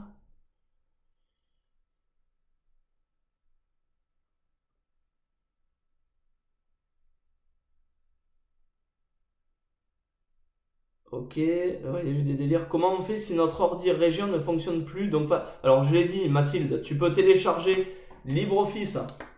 D'ailleurs, je vous montre. Vous tapez LibreOffice. Il faut prévoir euh, une heure de votre temps, suivant voilà. Et là vous avez frlibreoffice.org télécharger. Waouh, merveilleux. D'ailleurs, il y a LibreOffice Evolution, je sais pas ce que ça vaut. Et là vous avez la dernière version. Attention, si vous, êtes sur Windows, c'est mon cas, soit vous fonctionnez en 32 bits, soit en 64. Comment je le sais? Vous allez dans euh, ce PC euh, ordinateur, voilà, vous allez dans C, donc votre local disk, et vous avez, si vous voyez apparaître programme euh, x80, ah non, c'est pas ça, attendez, qu'est-ce que je vois? C'est pas ça, j'ai dit n'importe quoi. Euh, il me semble qu'il y a un lien. Les, informaticiens, là, il me semble quand, quand on a le x86, on est bon sur le 64. Je me demande d'ailleurs s'il n'y a pas... Ceux qui font un peu d'informatique, là, je voudrais de la confirmation. Sinon, vous allez dans votre PC et Il doit y avoir dans les propriétés. Bon, on va pas y passer la journée, mais. Euh, non, je l'ai pas là. Je l'ai pas là non plus. Sais pas. Non, il me semble que quand vous avez programme file x86, euh, c'est que vous pouvez euh, être en x64 et donc c'est bon. Vous avez le 64 bits qui va marcher. D'ailleurs, je vais lire le chat parce que ça peut être intéressant. Mais globalement, euh, le 64 bits marche bien. Évidemment, euh, ce sont des téléchargements qui sont gratuits et euh, qui sont légaux. Voilà. Je vous incite pas à faire d'autres types de téléchargements. OneNote. Mais c'est long. Ouais, OneNote en plus c'est long, c'est fastidieux, ça s'exporte mal. Préférez carrément LibreOffice. Euh, J'ai dit une bêtise sur le 64 bits ou pas? Rapidement, s'il y a des informaticiens qui sont plus érudits que moi. Euh, tout ça pour montrer qu'il a une tablette à 1500 boules. Ouais, ben oui. Mais euh, je viens de dire, monsieur Pérez, que tu pouvais le faire avec n'importe quel ordi, donc euh, voilà. Si tu avais écouté. Et maintenant, monsieur Pérez, ça va être ton grand moment. Parce qu'on va parler un petit peu de l'allocution de monsieur Macron pour voir si vous l'avez bien comprise. Si vous l'avez comprise comme nous. Euh, et, euh, et alors, je vais pas faire un débat. Il faut regarder dans les propriétaires du pro. D'accord. Euh, Je vais pas faire un débat, tout simplement. Mon but c'est pas de les commenter de manière personnelle ces annonces. Je vais surtout chercher à vous les faire comprendre parce que je pense qu'il y a beaucoup d'incompréhension au niveau de ces annonces-là. Et puis, mon CPC ne se connecte pas. Ouais, ouais, peut-être. Et du coup, euh, bon. Explication de texte. Alors là, je vais vous laisser. Quoi? Oui, non, mais euh, Nathan, tu fais avec LibreOffice maintenant, et puis c'est réglé, quoi. Je vais vous laisser deux minutes pour me dire en gros et très simplement. D'accord, clic droit sur ce PC. En deux minutes et très simplement, vous me dites ce que vous avez compris, chacun, ce que vous avez retenu qui vous concerne euh, en rapport avec l'allocution de M. Macron de lundi. Là, je vous laisse 10 minutes pour vous exprimer. Moi, ça me permet de voir ce que vous avez compris. Et c'est ce qui m'intéresse. Allez-y.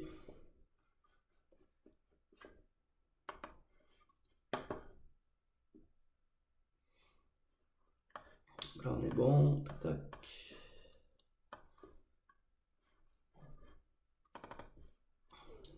Alors, qu'est-ce qu'il m'a dit, Nathan? Il m'a dit clic droit sur ce PC. Propriété. Ah oui, t'as raison, Nathan, ouais, c'est ça. Donc, euh, quand vous lèverez les yeux, hein, euh, effectivement, euh, pas Nathan, Damien, pardon. C'est sur ce PC, là, vous faites un clic droit, vous allez dans Propriété, et dans Propriété, effectivement, vous avez à ce niveau-là, je savais que j'avais vu quelque part, type du système, et vous avez le système en 64 bits ou en euh, 32 bits. Bon, les ordi récents sont en 64, hein, mais euh, c'est jamais. De toute façon, le, euh, il me semble que le 32 bits marche sur le 64. Par contre, l'inverse n'est pas bon. Alors, voyons voir. Euh, clairement, le 11 mai, c'est un objectif. Ce sera, à mon avis, progressif. Non, non, non, euh, Damien, j'ai. euh, je me suis réexprimé. Bah, normalement, on saura le 11 mai quand on rentre en cours, mais ça dépend du lycée. Normalement, il y a déconfinement des personnes sans risque masse, licence de sécurité. Non, non, non, pas seulement en ce qui concerne le, le, le scolaire. Ce qui vous concerne vous en tant que, que, que citoyen et que lycéen. S'il vous plaît, euh, Nathan et Damien, on est sur quelque chose de sérieux là. Donc j'aimerais bien qu'on se focalise sur ça. Reprise des écoles, lycées, le 11 mai, possiblement en progressif, pas tout le monde en même temps, avec des mesures de sécurité. Ok, bon, Je vous laisse encore une minute. Julien, je vais répondre à ta question un petit peu plus tard dans le live. Mais je vais y répondre.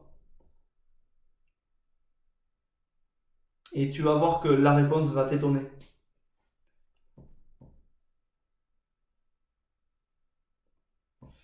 Mhm.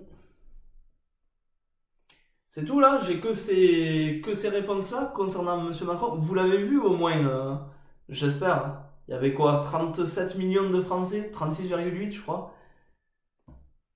C'était énorme. En même temps, on n'avait que ça à faire, on était confinés. Donc. Euh. Mais c'était. C'est bien qu'il y ait plus de la moitié de, la population qui, qui est suivie. Monsieur Perez, si je dis une bêtise, tu me le dis, hein, mais euh, bon, tu vas dire que j'en dis tout le temps, donc euh, tu vas avoir du boulot ce matin. Tu mais au moins, au moins, Monsieur Perez, tu vas avoir du boulot.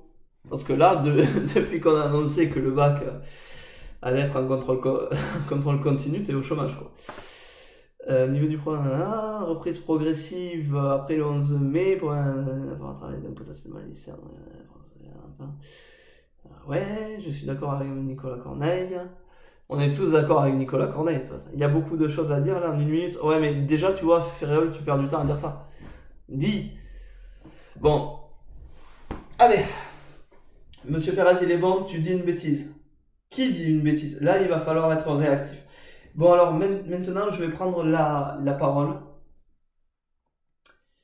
je l'ai vu presque en entier, mais vu qu'il patinait à répéter dix fois la même chose, ça m'a Oh, de mieux. Alors, là, l'annonce du 11 mai, c'était à, à peu près à la 7 ou 8 minute. Son allocution a duré 30 minutes, donc euh, presque en entier. Si tu t'es arrêté euh, après le, la 8 minute, ça craint. Dans un cadre plus général, certains secteurs seront autorisés à reprendre, d'autres non par sécurité, l'objectif d'unité collective. Ok. Bon, c'est pas mal déjà, il y a, y a du contenu déjà, on va pouvoir... Dans un premier temps, je vais être factuel. Dans un second temps, je vous laisserai peut-être la parole pour, euh, pour en discuter à l'échelle économique nationale et les choses comme ça. Mais je vais être factuel. Ne préparez pas vos habits, le travail en distanciel va continuer. Bon, cool. On va garder les jogging et les trucs comme ça. Ah, t'as revu la fin. Parfait. Surtout pour les lycéens. Alors, je vais être factuel et Monsieur Pérez, je compte sur toi pour apporter des compléments parce qu'en plus, comme tu as un pied euh, dans les syndicats, tu ne peux qu'apporter euh, des choses en plus à ce que je vais dire. Bon, déjà, d'un point de vue général, M. Macron n'a pas annoncé le déconfinement au 11 mai. Ça, j'aimerais bien qu'on soit très clair sur ça. Parce que je m'adresse à des jeunes citoyens. Et voilà, il a annoncé que l'objectif du début du déconfinement était le 11 mai. Mais que ce serait effectif si le virus continuait à euh, perdre donc en virulence et surtout en diffusion, et que si tous les indicateurs étaient au vert, et tous les indicateurs sont au vert, ça veut dire qu'on a moins de personnes contaminées, ça veut dire qu'on a une pression sur les hôpitaux qui est clairement affaiblie, euh, ça veut dire qu'on est en mesure de protéger les citoyens qui vont sortir, etc., etc. Donc, si dans un monde idéal, ce serait le 11 mai qu'on commencerait à déconfiner. Et encore, a priori, ce ne sera pas pour tout le monde. Et là se pose la question des 18 millions de personnes à risque ou personnes âgées qui est en pourparler, appuyé par le ministre de l'Intérieur le lendemain. Voilà. Euh, donc on est sur quelque chose, on est sur une échéance hypothétique. D'accord? C'est un objectif. Ça veut dire que euh, si le confinement vient affaiblir, le déconfinement du 11 mai pourrait être euh, revu, quoi. D'accord? Euh, Donc, première des choses que je tenais à vous dire, c'est qu'il faut maintenir le confinement. Il y a beaucoup de personnes, enfin beaucoup non, mais une part non négligeable de personnes qui a compris, en gros, qu'on allait être déconfiné le 11 mai et que c'était Oura Football, c'est-à-dire qu'en gros ben, on commençait à être déconfinés maintenant. Euh, je peux pas vous dire plus, mais voilà, euh, je, pense que euh, faut rester confiné et il faut rester rigoureux dans la gestion de ce confinement, déjà, pour que ce soit possible. Âgé, obèse, pulmonaire, prof de maths. Prof de maths, oui, je vais être confiné. Mais, mais moi, monsieur Pérez, je suis bien en confinement. Moi, moi ça me dérange pas. Euh, Monsieur Macron a donné 11 mai à partir de laquelle il sera profité de faire des projections. Ils ont sûrement compris qu'après un discours, il a répété six fois que nous étions en guerre, il fallait qu'il fallait un peu plus comprendre les gens. Oui, d'accord, il, il, a été un petit peu plus paternel, hein, euh, mais euh, effectivement, Mais attention, attention, le 11 mai n'est qu'un objectif. Est-ce que les personnes chauves, Monsieur Pérez, sont des personnes à risque? À méditer. Alors, du coup, ce qu'il a annoncé, c'est qu'on allait reprendre petit à petit nos déplacements pour travailler. Euh, et donc, bon, il y a quand même des lieux sociaux qui vont rester fermés jusqu'à nouvel ordre. On parle euh, des bars, des cafés, euh, des cinémas, des théâtres, des restaurants. C'est des lieux où l'épidémie pourrait repartir. Qui, ce qui est craint, c'est une seconde vague. Parce que clairement, le, virus, on l'a pas éradiqué. Euh, loin de là. Et en fait, euh, si on rouvre tout d'un coup, ce qui va se passer, c'est que la contamination va, va exploser. Quoi. Et on va repartir sur une seconde épidémie, c'est clair. Et comme le disait Jules, l'une peut-être des seules manières de contrer pour l'instant l'épidémie, c'est l'immunité collective. Encore une fois, l'immunité collective est-elle possible? C'est une autre question qu'on peut se poser parce qu'on voit qu'il y a des cas euh, en Asie, ceux qui ont connu l'épidémie avant nous, qui avaient été infectés par le coronavirus et qui refont une rechute du coronavirus. Euh, donc, est-ce que l'épidémie, euh, est-ce que l'épidémie, est-ce que l'immunité collective sera efficace? C'est une autre question. Moi, je n'ai pas la réponse. Et je pense qu'il y a très peu de spécialistes qui ont la réponse au jour d'aujourd'hui. Voilà. La seule chose qu'on pourra, qui nous permettra de contrer cette souche du virus, c'est à terme un vaccin. Le problème, on ne peut pas confiner la population jusqu'à avoir un vaccin, ce qui va prendre un an ou deux. D'accord? Voilà. Donc, euh, je reprends un petit peu où j'en étais. Monsieur Macron a annoncé la réouverture progressive des établissements scolaires et des crèches.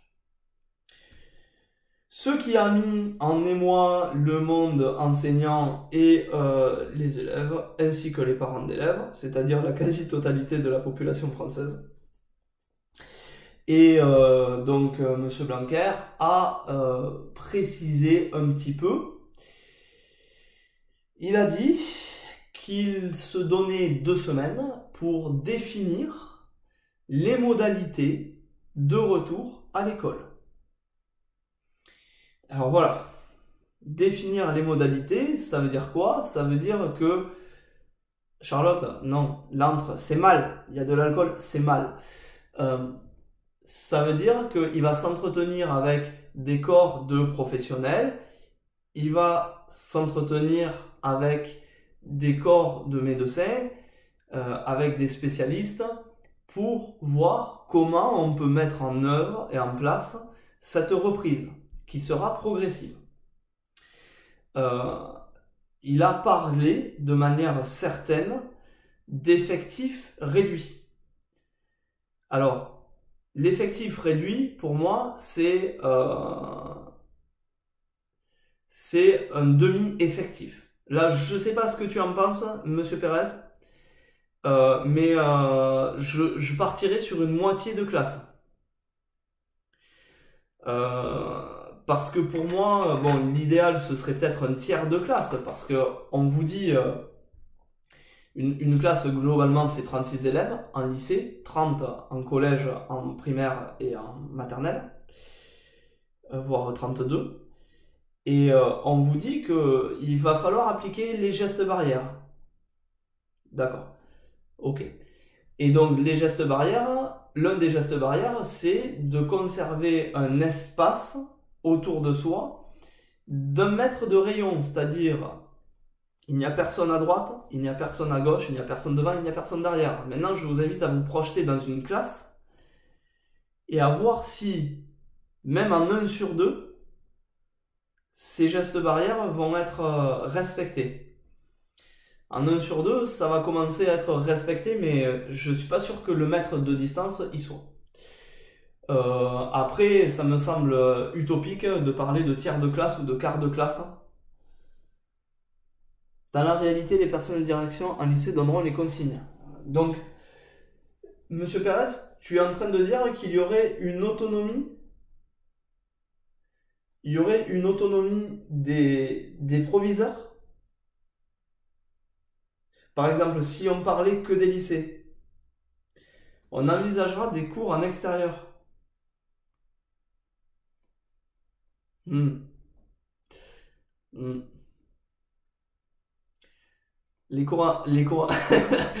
Les cours en extérieur, tu me fais bien, enfin, tu me fais rire, c'est pas toi, mais la mesure me, me fait rire. Et distanciel en quantité. Voilà, je pense qu'au lycée, on va avoir quand même cette marge de manœuvre euh, qui est de euh, privilégier ouais, les visioconférences. Il nous faut les salles où on faisait les contrôles communs de maths après. Ouais, voilà. Non mais, Monsieur Perez, l'autonomie, elle existe.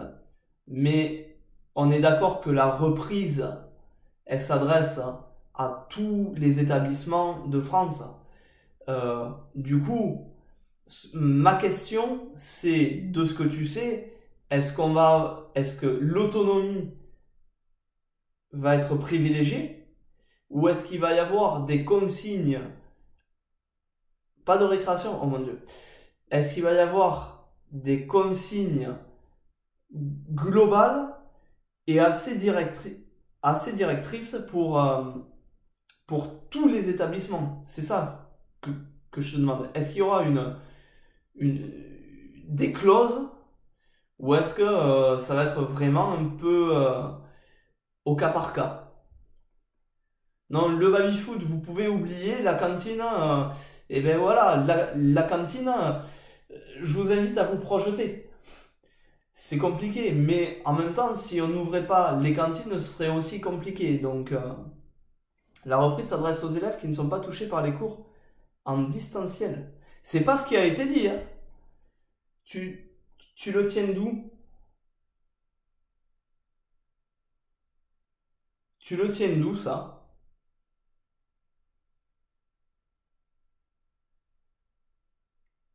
Marge d'autonomie quand même.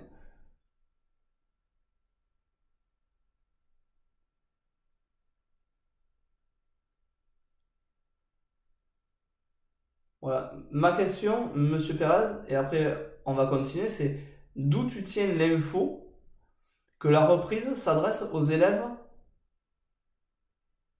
euh, qui, ne sont pas touchés par les cours en distanciel? Et de manière euh, concrète, c'est qui ces élèves-là?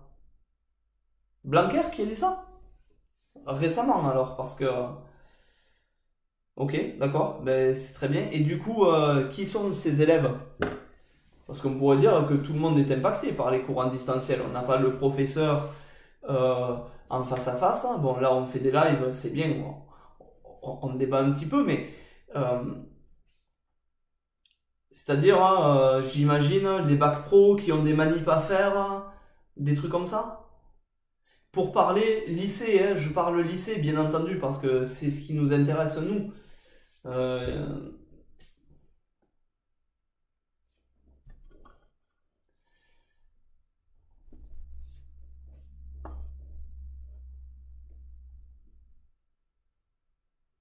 Après, bon, voilà, pour faire suite à ce qui a été dit, les... le lycée pro reprendra avant nous, d'accord Ouais, je pense. Après, l'objectif du ministre aussi, c'est de remettre un pied à l'école, enfin, de faire remettre un pied aux élèves à l'école. Ah ben super. Oui, monsieur Perez, je peux te mettre en haut-parleur, c'est bon? Mets ton haut-parleur, ouais, justement, ça sera mieux. Ok, alors attends, on va faire un test. Vas-y, parle. Allô? Ouais, mais ils vont entendre avec 30 secondes de décalage. Du coup, moi, je vais entendre avec 30 secondes de décalage. Eh ben, coupe le son sur ton live et les élèves vont me dire s'ils t'entendent bien là. Parce que comme tu as parlé, mais on n'a pas 30 secondes. Aujourd'hui, je crois qu'on a 20 ou 15 secondes de décalage, ça devrait le faire. Ils s'entendent. Ouais. Ok, nickel. Ouais, donc euh, Blanquer, il a dit quand ça sur LCI Alors, Blanquer a parlé le deux jours après le président de la République sur LCI. Ça Ouais. fait donc qu'il a parlé, je pense, mercredi matin. Si Je dis pas de bêtises. Donc l'orientation qui serait prise actuellement, et euh, mon syndicat pour l'instant il n'a pas été encore reçu, je crois, par euh, le ministre, les quelques trucs qu'il nous, qui nous redescendent de, de l'union syndicale, en fait, il laisse apparaître un truc, c'est qu'il va y avoir une, une contextualisation des, des, mesures à prendre. C'est-à-dire mhm. que chaque académie, à travers les recteurs, en fonction des, des pics épidémiques qu'ils ont eus, ils vont avoir une manière de reprendre très différenciée. Et aussi en fonction du fait d'avoir des élèves euh, qui viennent en transport en commun, des élèves qui sont internes, ah oui. Euh, les lycées professionnels aussi. Donc la priorité, elle est donnée au lycée pro, elle est donnée au troisième prépa pro, elle est donnée euh, en fait à tous les élèves qui sont en difficulté scolaire. C'est-à-dire que les classes qui repartiraient le plus tard, euh, ou qui repartiraient avec le moins d'heures sont les classes qui fonctionnent le mieux. Mm. Donc séries générales, et sans aucun doute des séries générales de terminale ou les, les, élèves de première, parce qu'il faut comprendre dans tout ça qu'il y a les terminales, ok, mais il y a les secondes, il y a les premières. Donc s'il y a un jeu d'examen mais ça va rentrer, on va dire plutôt rapidement dans les matières à examen. Ouais. S'il n'y a pas d'enjeu d'examen, euh, ça va rester à la maison pour un bon bout de temps. Hein. Mais... Les secondes, par exemple, ouais. à part les secondes qui sont en, décrochage, euh, ça, ça, va, ça va, ils vont pas rentrer tout de suite. Mais le problème, c'est que ce qui est dit là, euh, si d'un coup tu as les chiffres de, de, de, euh, de réanimation qui d'un coup reprennent un, niveau d'augmentation fort, ouais. euh, tout ce qu'on est en train de dire, euh, ça va être complètement remisé. Ouais, c'est clair. Les, hypothèses qui sont en train de prendre actuellement, c'est des hypothèses en ayant encore une espèce de plat euh, haut, cette espèce de plateau qu'ils appellent. Euh, et on serait sur ces hypothèses-là. C'est ce que j'ai lu, moi, dans les documentations mhm. syndicales de mon syndicat et euh, du SE-UNSA. D'accord. C'est deux syndicats, euh, CLDT et, et SE-UNSA, que j'ai consulté pour, pour ces infos-là et tous les sites comme Le Monde de l'Éducation et le site de, de, référence des personnels de direction, le, le SNPDEN, qui est le syndicat de 90% des personnels de direction. Donc, quand on est un syndicat à 90% de représentation, euh, quand on dit quelque chose, le quelque chose est fait. C'est automatique. Et euh, mais du coup, on aurait quand même une autonomie euh, par lycée, quoi. Euh, à mon avis, il y aura une. une, une alors là, c'est plus qu'à mon avis. C'est d'après ce que j'ai pu lire, il y aura une autonomie qui sera laissée. Notre lycée étant une énorme cité scolaire. Voilà, c'est ça en fait. Puisqu'on fait partie des quatre plus gros établissements de l'académie. Mmh. Euh, notre établissement ayant un internat, notre établissement ayant la nécessité d'être appuyé par un réseau de transport. On ne peut pas mettre des bus à 60 élèves par bus. Ouais. Surtout s'ils ne sont pas équipés. Mm. On ne peut pas faire travailler les gens sans les masques. La SNCF a imposé à partir du 11 mai les masques pour les voyageurs. D'accord. Si la SNCF les fait mettre dans les euh, trains, si ce n'est pas mis dans les euh, bus, ouais, par extension, voilà, ouais, c'est ça.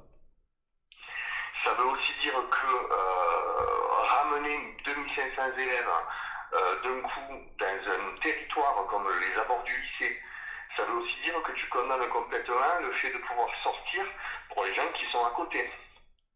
Ouais. Donc c'est pas envisageable. Le seul point d'entrée dans l'établissement, à mon avis, il y en aura plusieurs de points d'entrée dans l'établissement. Euh, il faut aussi préparer les personnels de vie scolaire, hein. il faut aussi préparer les enseignants. Donc déjà la première semaine sera une semaine qu'on qualifiera entre guillemets pour nous de pré-rentrée sur Mhm. deux ou plusieurs jours, puisque tant que le confinement n'est pas terminé, on ne peut pas nous demander d'aller à notre travail. D'accord. C'est tout ça qui est compliqué. Ouais, ouais. Ensuite, il faut qu'ils mettent en place un moyen de nettoyage des établissements, parce que par exemple, des ST qui travaillent sur les ordinateurs. Après chaque passage d'un élève, il faut que les ordinateurs soient désinfectés. Et chaque enseignant, parce qu'on est plusieurs enseignants à tourner sur, le, sur les mêmes salles aussi. Donc, euh, c'est lourd. Ah non, mais ça, ça pose d'énormes contraintes et c'est à quatre personnes euh, de gérer cette rentrée-là sous l'autorité de M. Boissière. Donc vous imaginez bien que quatre personnels de direction qui gèrent des problèmes de santé publique alors que c'est pas leur job, parce que leur job c'est de faire de l'emploi du temps, c'est de, de faire de la Ouais. pédagogie. Puis, ils auront ça à faire aussi, c'est-à-dire ils auront arrêter. des emplois du temps à, à créer également. À refaire complètement, Voilà. oui, parce qu'on ne peut pas envisager. Alors, dans certains cas, il a été dit, mais ça a été dit pour les écoles primaires. il a été dit qu'on mettrait des moitiés de classe le moitié, moitié de classe l'après-midi. C'est faisable sur une école, hein. ce n'est pas faisable sur un lycée. C'est clair. moi, dans, dans, ce que j'envisage pour le retour, puisque c'est pareil, on est que ce soit toi euh, ou tous les enseignants, on est tous en train d'imaginer à quoi ressemblera le retour. Et moi, je suis déjà en train de préparer des stratégies pédagogiques. Mais quand je parlais des cours en extérieur, c'est quelque chose qui a été dit euh, par le ministre, je crois, ou par euh, quelqu'un du ministère. Moi, il est, il est, évident que ça sera une des solutions que je vais envisager, c'est-à-dire d'aller travailler sur l'oral pour les élèves qui feront euh, du second tour sans aucun doute, qui ne sont pas qualifiés pour avoir le bac immédiatement, on ira faire de la pratique de l'oral à l'extérieur. Parce que ça limite les contraintes, mais parce que ma matière le permet. oui, voilà. parce que là, je te prends euh, les maths. on n'a pas forcément besoin d'un tableau blanc, mais euh, on passe par l'oral, mais pas que par l'oral. Les maths, c'est beaucoup d'écrit. C'est particulier aussi. Et puis, ah si, tu as toutes les classes qui font des cours à l'extérieur, on se retrouve euh, confronté au même problème. C'est-à-dire. Euh, surtout qu'on aura des travaux, hein, puisque les travaux pendant la période de confinement, et ils reprendront euh, à partir du moment où il n'y aura plus de confinement. après, il faut, il, faut, il faut plus envisager le fait que ta chaîne YouTube continue à prendre des, à prendre des abonnés et, et, que, et que tu vas y travailler encore pour un moment dessus. Ah non, mais moi, c'est le but, hein, c'est passer euh, également par le, par le dématérialisé, parce que ça fonctionne. Mais euh, voilà, euh, c'est vrai que on, a du mal à s'imaginer comment ça va se passer, et puis ça peut être angoissant pour bon nombre d'élèves et, et, et, de professeurs. Si on fait revenir les élèves, il faut même imaginer que quand il va y avoir des questions sur Parcoursup ou quoi que ce soit, euh, les filles du secrétariat, les quatre secrétaires de l'établissement, mm. vont se retrouver à, avoir une, foule d'élèves qui vont venir euh, version drive sur un secrétariat qui n'est pas du tout prévu euh, en termes d'espace pour ça. Il faut imaginer que la vie scolaire, hein, il va y avoir des files d'attente pour aller, je sais pas moi, justifier une absence, et les couloirs. et, les couloirs qui sont exigus, ça va être compliqué l'escalier d'affaires, les toilettes qui doivent être nettoyées, qui ne doivent pas être en quantité. Euh, enfin, euh, c'est. c'est tout simplement un truc de fou. Les élèves qui sont à côté des fenêtres, il faut désinfecter les fenêtres à la fin du cours. Eh oui, et les murs euh, également. Enfin, moi, c'est ouais, particulier. Et le, le, le 11 mai, euh, tout le monde en a fait une espèce de stress en disant Oh, tout le monde va rentrer. Non, non. Non, je pense que ce sera pas le cas. Le but, vraiment, hein, qu'a dit Monsieur Blanquer, c'est euh, d'avoir cette euh, ce retour à l'école euh, au, enfin, durant ces mois de mai et de juin. On sent bien qu'il veut étaler quand même. Ah, il y, a un gros étalement et quand on parle de école, nous on parle lycée, mais on pense aussi à crèche. Moi, je suis dans le CA d'une crèche associative à Ornaison. Euh, c'est plus vers là que, ah, euh, le, début va se faire. Hein. C'est-à-dire sur de la crèche où on va garder les petits enfants, où nous on est en capacité, euh, la présidente est en train d'y travailler dessus, mais on est en capacité d'accueillir. Dans les écoles maternelles ça va être super chaud, mais où il faut qu'il y ait un contact avec les, les, élèves, alors pas entre eux, mais avec une maîtresse sur quelques heures de la, de la journée, sur les écoles primaires, en collège, mais le, le lycée, à part le lycée pro, il va y avoir quand même du, il va y avoir quand même de, de, la distance avant que les élèves de terminale SSI euh, ne mmh. reviennent normalement au travail. Ça ne se fera sans doute pas cette année, d'ailleurs. Mais euh, voilà. Après, le problème, c'est que tout ce qu'on dit là est conditionné à l'évolution de l'épidémie. Voilà, l'épidémie, la pandémie n'est pas une épidémie, pandémie euh, nouvelle pour la France, on en a déjà connu.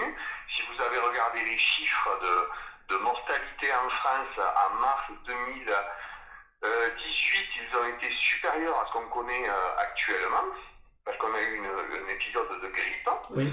Euh, ça peut très bien, sur avril, sur mai, repartir et, et exploser le compteur.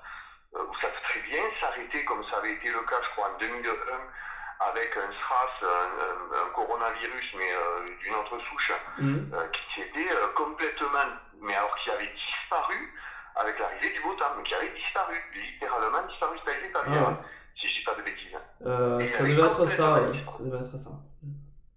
D'accord. Donc, tout ce qu'on dit. Oui, c'est c'est hypothétique hein, de toute manière parce qu'on ne sait pas du tout euh, comment se comporte ce virus euh, euh, par rapport aux facteurs extérieurs. c'est... Le problème, c'est que notre, notre élément de base et le, peu de recul qu'on puisse, qu'on puisse avoir, c'est la Chine. Et, et comme on le sait tous, la Chine a dit absolument n'importe quoi, n'a pas fait passer les infos. Euh, à, transformer les infos. Les lanceurs d'alerte, d'ailleurs, sont à ce jour euh, sur abonné absent, ils ne répondent pas. Il n'y en a qu'un seul qui, continue à publier. Sauf que la manière dont ils publient ce lanceur d'alerte depuis quelques mois, euh, ben, on a bien l'impression qu'il y a eu un gros changement de cap. Donc il y a pas mal d'articles à lire sur ce que la Chine a fait. Alors évidemment, les articles à lire sur des sites euh, bien euh, euh, connus, officiels, hein, le, monde, la référence Le Monde, les décodeurs du Monde, Courrier International, pourquoi pas sur une ouverture à l'étranger, qui peut être intéressante, et après les, les, les, tweets officiels des ministres. voilà.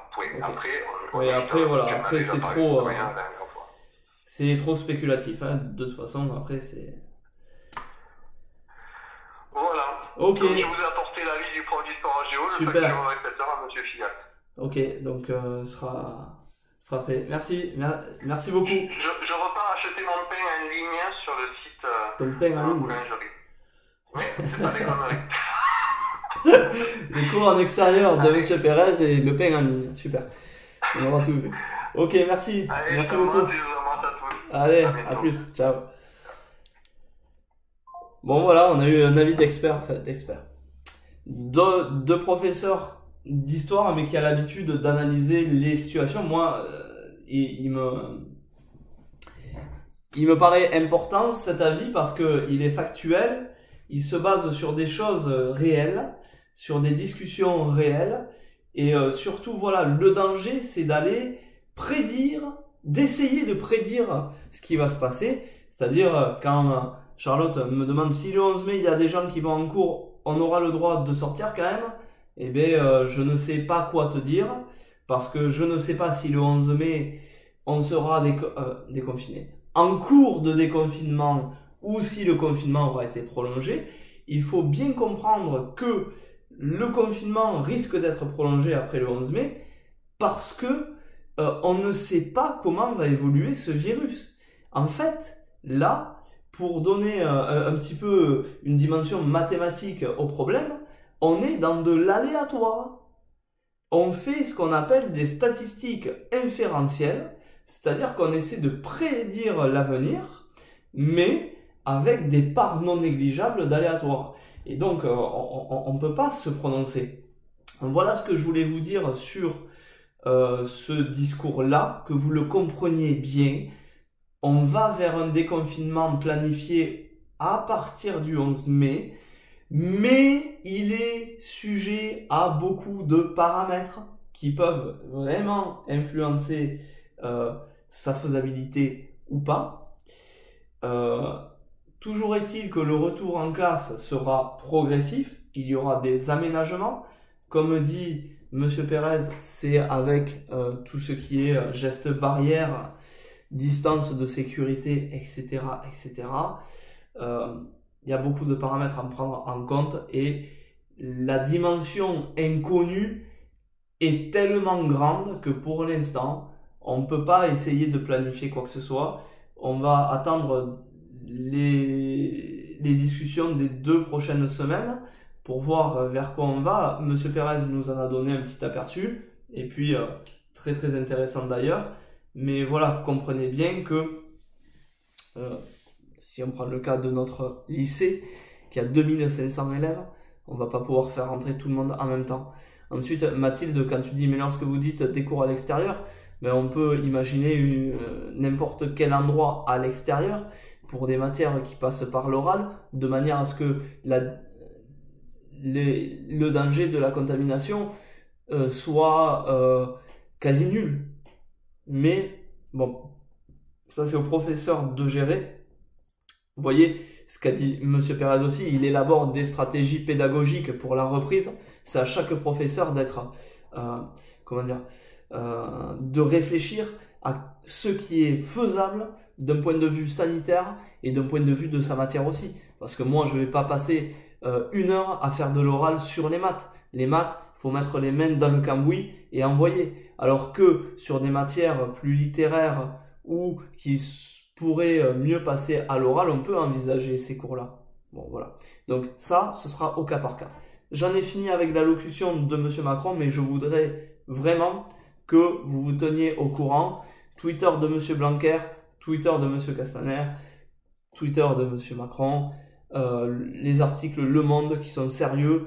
Euh, voilà, Monsieur Pérez vous a donné pléthore de, de sources et vous allez pouvoir un petit peu peaufiner ça, mais n'allez pas non plus vous focaliser sur le 11 mai parce que sincèrement, même si ça peut être angoissant pour vous, laissez venir les choses. Voilà. Profitez des moments de confinement pour ben, vous recentrer sur vous, euh, pour travailler, pour préparer la suite avec engagement, mais voilà, on ne peut pas tout prévoir. Ce qui en vient en fait à mon organisation, moi je vais faire maintenant, et je vais répondre à la question de Julien qui me demandait où on en était par rapport au programme, je vais faire comme si on rentrait le 11 mai. C'est-à-dire que je vais organiser le travail jusqu'au 11 mai. Et si on rentre le 18 mai, eh bien, je réorganiserai le travail jusqu'au 18 mai. Mais quoi qu'il en soit, le 11 mai, si vous suivez mon calendrier de révision, le programme sera bouclé. Donc, pour reprendre un petit peu tout ce qu'on a fait pendant le confinement, nous avons vu les lois exponentielles, les lois continues, loi exponentielle, loi uniforme. Nous avons vu une deuxième leçon qui normalement doit s'achever courant semaine prochaine, qui est la leçon sur les lois normales. Si vous n'êtes pas à jour, vous avez une semaine pour vous mettre à jour. Donc il va falloir charbonner un petit peu, d'accord? Je sais que les distractions sont grandes pour ne pas bosser, mais là, va falloir envoyer un petit peu le pâté. Et enfin, je prévois courant semaine prochaine de mettre toutes les vidéos sur le dernier chapitre qui est le chapitre sur la géométrie analytique de l'espace, qui devrait durer 2-3 semaines. Ce qui nous emmène donc au 11 mai plus quelque chose. D'accord? Donc le chapitre sur la géométrie analytique de l'espace, vous avez déjà les vidéos de cours sur YouTube. Il y a la première, il y a la deuxième qui va arriver. Il me reste simplement les trois vidéos d'exercice à tourner. Je vais les tourner d'ici lundi, mardi, ce sera fait, je pense. Donc ça veut dire que mercredi prochain, disons-le à peu près, entre mercredi et vendredi prochain, il y aura toutes les vidéos sur YouTube sur ce chapitre. Et je vous enverrai un mail avec euh, tous les documents. Donc le document de cours, d'ailleurs peut-être je vais le faire aujourd'hui avec le, prochain devant libre. Le document de cours, le, plan de, enfin, le plan de travail, le TD. Et il me reste deux exercices pour lesquels je dois rédiger le corrigé. Donc le corrigé, peut-être vous l'aurez un petit peu plus tard. Quand vous aurez ces documents-là, vous pourrez finir le programme. Donc le 11 mai, le programme de maths est fini. Ce qui en vient à parler de l'organisation après le 11 mai. Dans l'hypothèse où l'on reprendrait le 11 mai, M. Blanquer a bien dit que les cours seraient personnalisés. Et ça tombe bien, c'est exactement ce que j'avais prévu de faire. La seule chose, c'est que j'avais prévu de les faire en groupe. Là, clairement, les groupes, c'est un petit peu mort. Donc, il va falloir apprendre à travailler seul. Donc, ce que j'envisage pour le l'après 11 mai, c'est de recenser l'opinion générale de chaque élève et de créer des travaux de révision sur plusieurs thèmes, comme j'ai pu faire cette semaine, ou des travaux d'approfondissement pour ceux qui iraient en prépa ou qui continueraient les maths l'an prochain. Il risque d'y avoir des programmes j'en sais rien. Samuel, je n'en sais rien du tout et euh, on verra. Voilà. Donc, ça va être un travail à la carte. Mais pour que le travail à la carte fonctionne, il faudra, au moment, le moment venu, et là, euh, je vous solliciterai, que vous me disiez sur quoi vous voulez travailler. Question à la con, mais il faut prévoir des gros contrôles. Damien, travaille comme si tu avais des contrôles. Ça te permet de te fixer une échéance et de te mettre une petite pression. De cette manière, tu perds rien. Après, sincèrement, qu'il y des contrôles, qu'il n'y ait pas de contrôle, moi, euh, c'est pas la question que je me pose.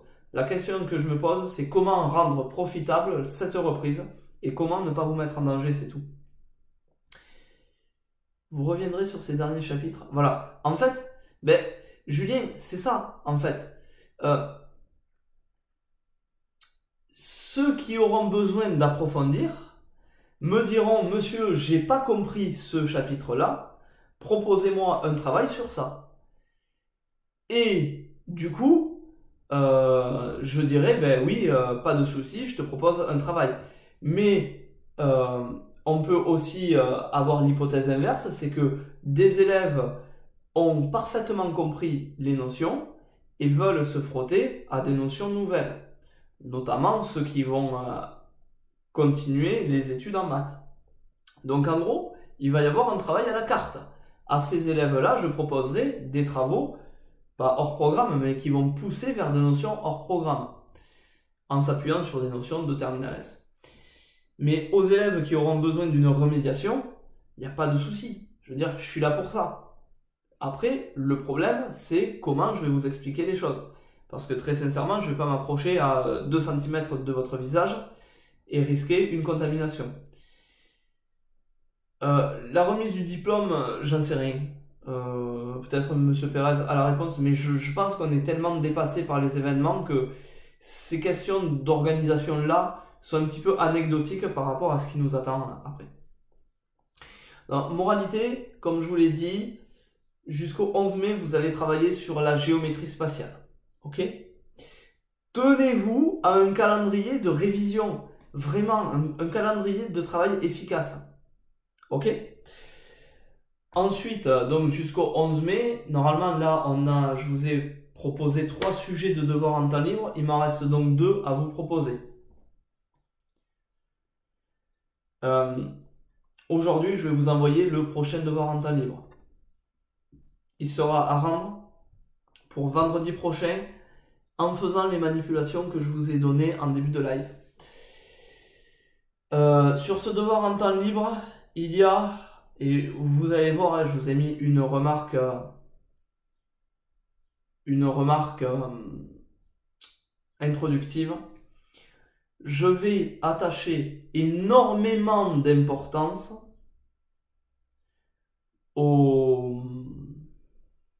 à la rédaction et à l'aspect personnel de la rédaction. C'est-à-dire que déjà, je veux que la rédaction soit bien, bien faite et que vous et votre euh, ami n'ayez pas la même rédaction.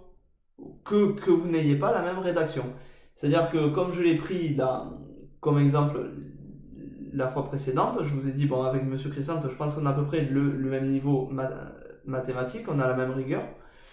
Mais si moi je rédige un travail, et si lui rédige le même travail, je vous garantis que nos deux copies sont différentes. Les résultats sont les mêmes, vu que bon, potentiellement on aura, tout juste, hein. mais la rédaction sera pas exactement la, tournée de la même manière. C'est ça que j'attends. Je veux que les maths, c'est pas vous rentrez dans un moule et vous faites votre, votre travail comme le prof il vous l'a dit expressément. Moi j'ai ma rédaction, à vous de développer la vôtre. Que vous preniez exemple, bon, pas de souci, mais essayez de vous élever maintenant à ça. D'ailleurs, il y a une dernière partie sur le devoir en temps libre qui est, euh, est d'actualité, mais qui vous impose de choisir une stratégie personnelle. Et je suis sûr, quand je vous passerai le corrigé, que la stratégie que moi j'ai choisie, ce ne sera pas la vôtre. Euh, Nathan qui nous dit, on pourra vous demander, oui alors, sur le supérieur, je vais vous dire exactement ce que j'ai prévu. J'ai prévu un travail sur les nouvelles fonctions, c'est-à-dire euh, les fonctions euh, arc cosinus, arc sinus, arc tangente, cosinus hyperbolique, sinus hyperbolique, tangente hyperbolique. Ça, c'est les nouvelles fonctions que je vais voir avec vous. Ensuite, j'ai prévu un petit travail sur l'intégration par partie et sur euh, le, son influence sur la résolution d'équations différentielles. Euh, voilà. Ensuite, euh, qu'est-ce que je vous ai prévu? Je vous ai prévu un petit peu d'algèbre, donc calcul de somme, calcul de produit.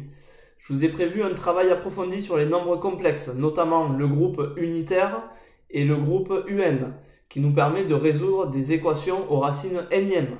Ah, vous allez voir, c'est magnifique. Avec tout ça, déjà, je pense que vous serez bien lancé.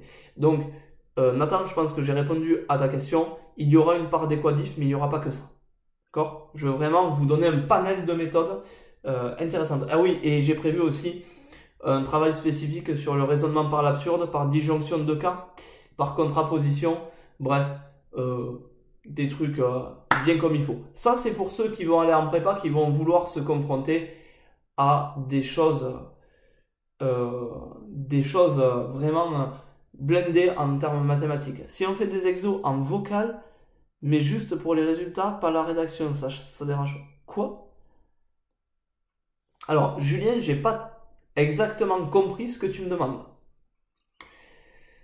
En vocal, c'est-à-dire à, l'oral?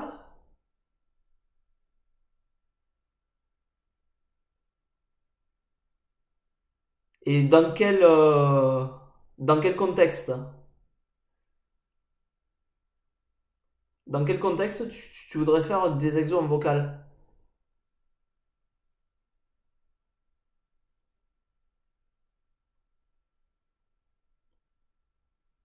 Pendant le confinement, pendant la reprise, euh, j'ai pas bien compris ce que tu me demandais. Si tu veux bien clarifier un peu tes propos. Est-ce que les autres ont des questions?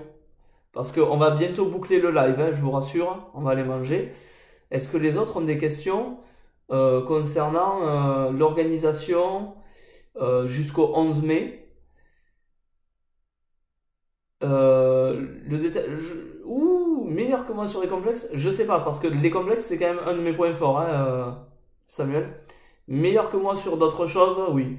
Sur sur sur, sur l'algèbre, bon après on n'est pas là pour faire une compète, mais mon point fort c'est l'algèbre, donc si on veut obtenir des résultats justes, donc on compare nos résultats. Ah, mais oui, d'accord. Euh, si tu veux obtenir des résultats justes, euh, donc en fait, dans la recherche du devoir en temps libre, tu veux comparer avec les autres pour voir. Oui, oui, non mais que vous compariez vos résultats, c'est la démarche d'un lycéen, je veux dire, on l'a tous fait quoi. Moi, ce que je veux, c'est que vous donniez un aspect personnel à vos raisonnements, c'est tout. C'est tout, en fait. Mais oui, oui, après, vous pouvez comparer vos résultats.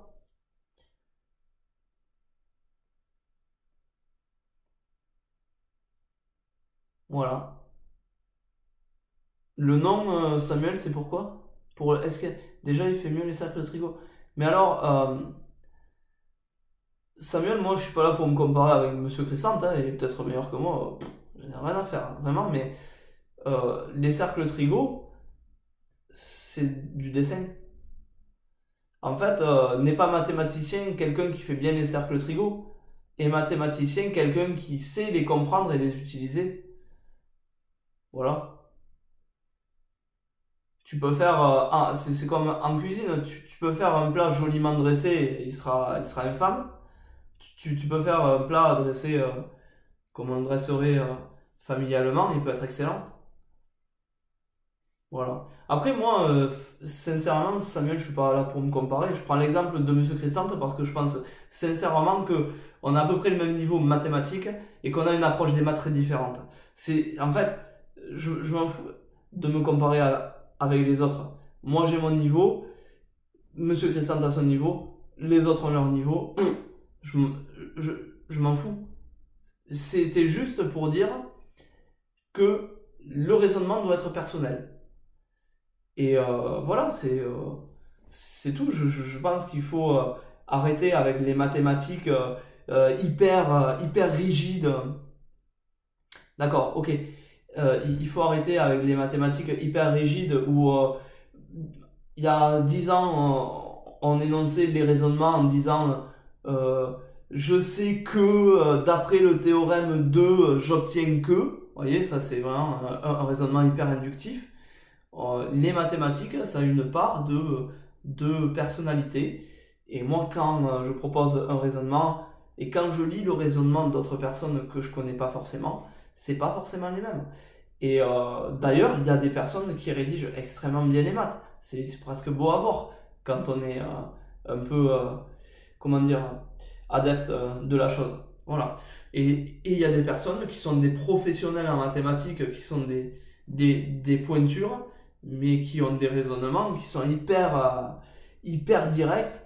Et bon, voilà, c'est pas forcément euh, les meilleurs raisonnements du monde. C'est tout.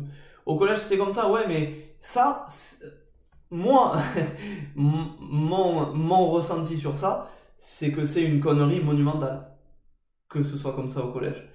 Qu'on vous donne un cadre, effectivement, le théorème de Pythagore, dans un triangle rectangle, euh, j'utilise la propriété de Pythagore. Mais euh, on va pas dire, je sais que le triangle ABC est rectangle en B, euh, j'utilise, non, d'après le théorème de Pythagore, et si tu mets pas le mot théorème, tu te fais flageller, non. Et d'ailleurs, est-ce que le théorème de Pythagore est un théorème, une propriété ou une identité? Ça aussi, c'est un débat.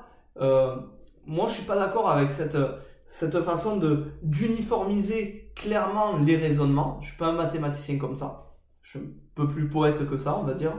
Et je suis pas un mathématicien inné à la base. Hein. Je j'ai un niveau correct en mathématiques, mais parce que j'ai bossé pour l'avoir et parce que euh, ben, mes raisonnements, je les ai travaillés et ça m'a permis d'avoir une une identité dans, dans mes raisonnements. Mais je, comprends, Samuel, que ça t'est saoulé il faut mettre un cadre parce qu'on ne fait pas des maths n'importe comment, mais euh, il, ne faut pas être euh, vraiment euh, étroit d'esprit. voilà. Bon bref, c'était un petit un petit débat comme ça. Bon, a priori, il n'y avait pas de questions. Ce qui était bien, c'est que je me rappelle pour Monsieur Préter qui nous faisait l'actualité pour justifier de l'actualité. De l'actualité de quoi? Il, était pas mal, Monsieur Préter. Il était sympa. J'aimais beaucoup Monsieur Préter. C'était vraiment euh, un bon prof. Enfin, c'est toujours un bon prof d'ailleurs. Voilà. S'il nous regarde un jour, euh, salut Monsieur Préter. Bon, les jeunes, on va se quitter ici hein, parce que euh, j'ai faim. Et si je dois pas tomber malade du coronavirus, il faut que je mange. Non, je plaisante. Et donc on se dit rendez-vous vendredi prochain. Vendredi prochain, dans un monde idéal où on rentrerait le 11 mai euh, vous aurez commencé à travailler sur la géométrie spatiale. Attendez-vous à recevoir le devoir en temps libre dans la journée ou demain. Et puis, euh, bon, ben, je vous dis euh, à très vite. Et merci encore à Monsieur Pérez qui, nous, qui a vraiment apporté une plus-value à ce live avec ses remarques pertinentes et puis surtout qui nous a apporté beaucoup d'infos. Voilà. Allez, à plus tout le monde.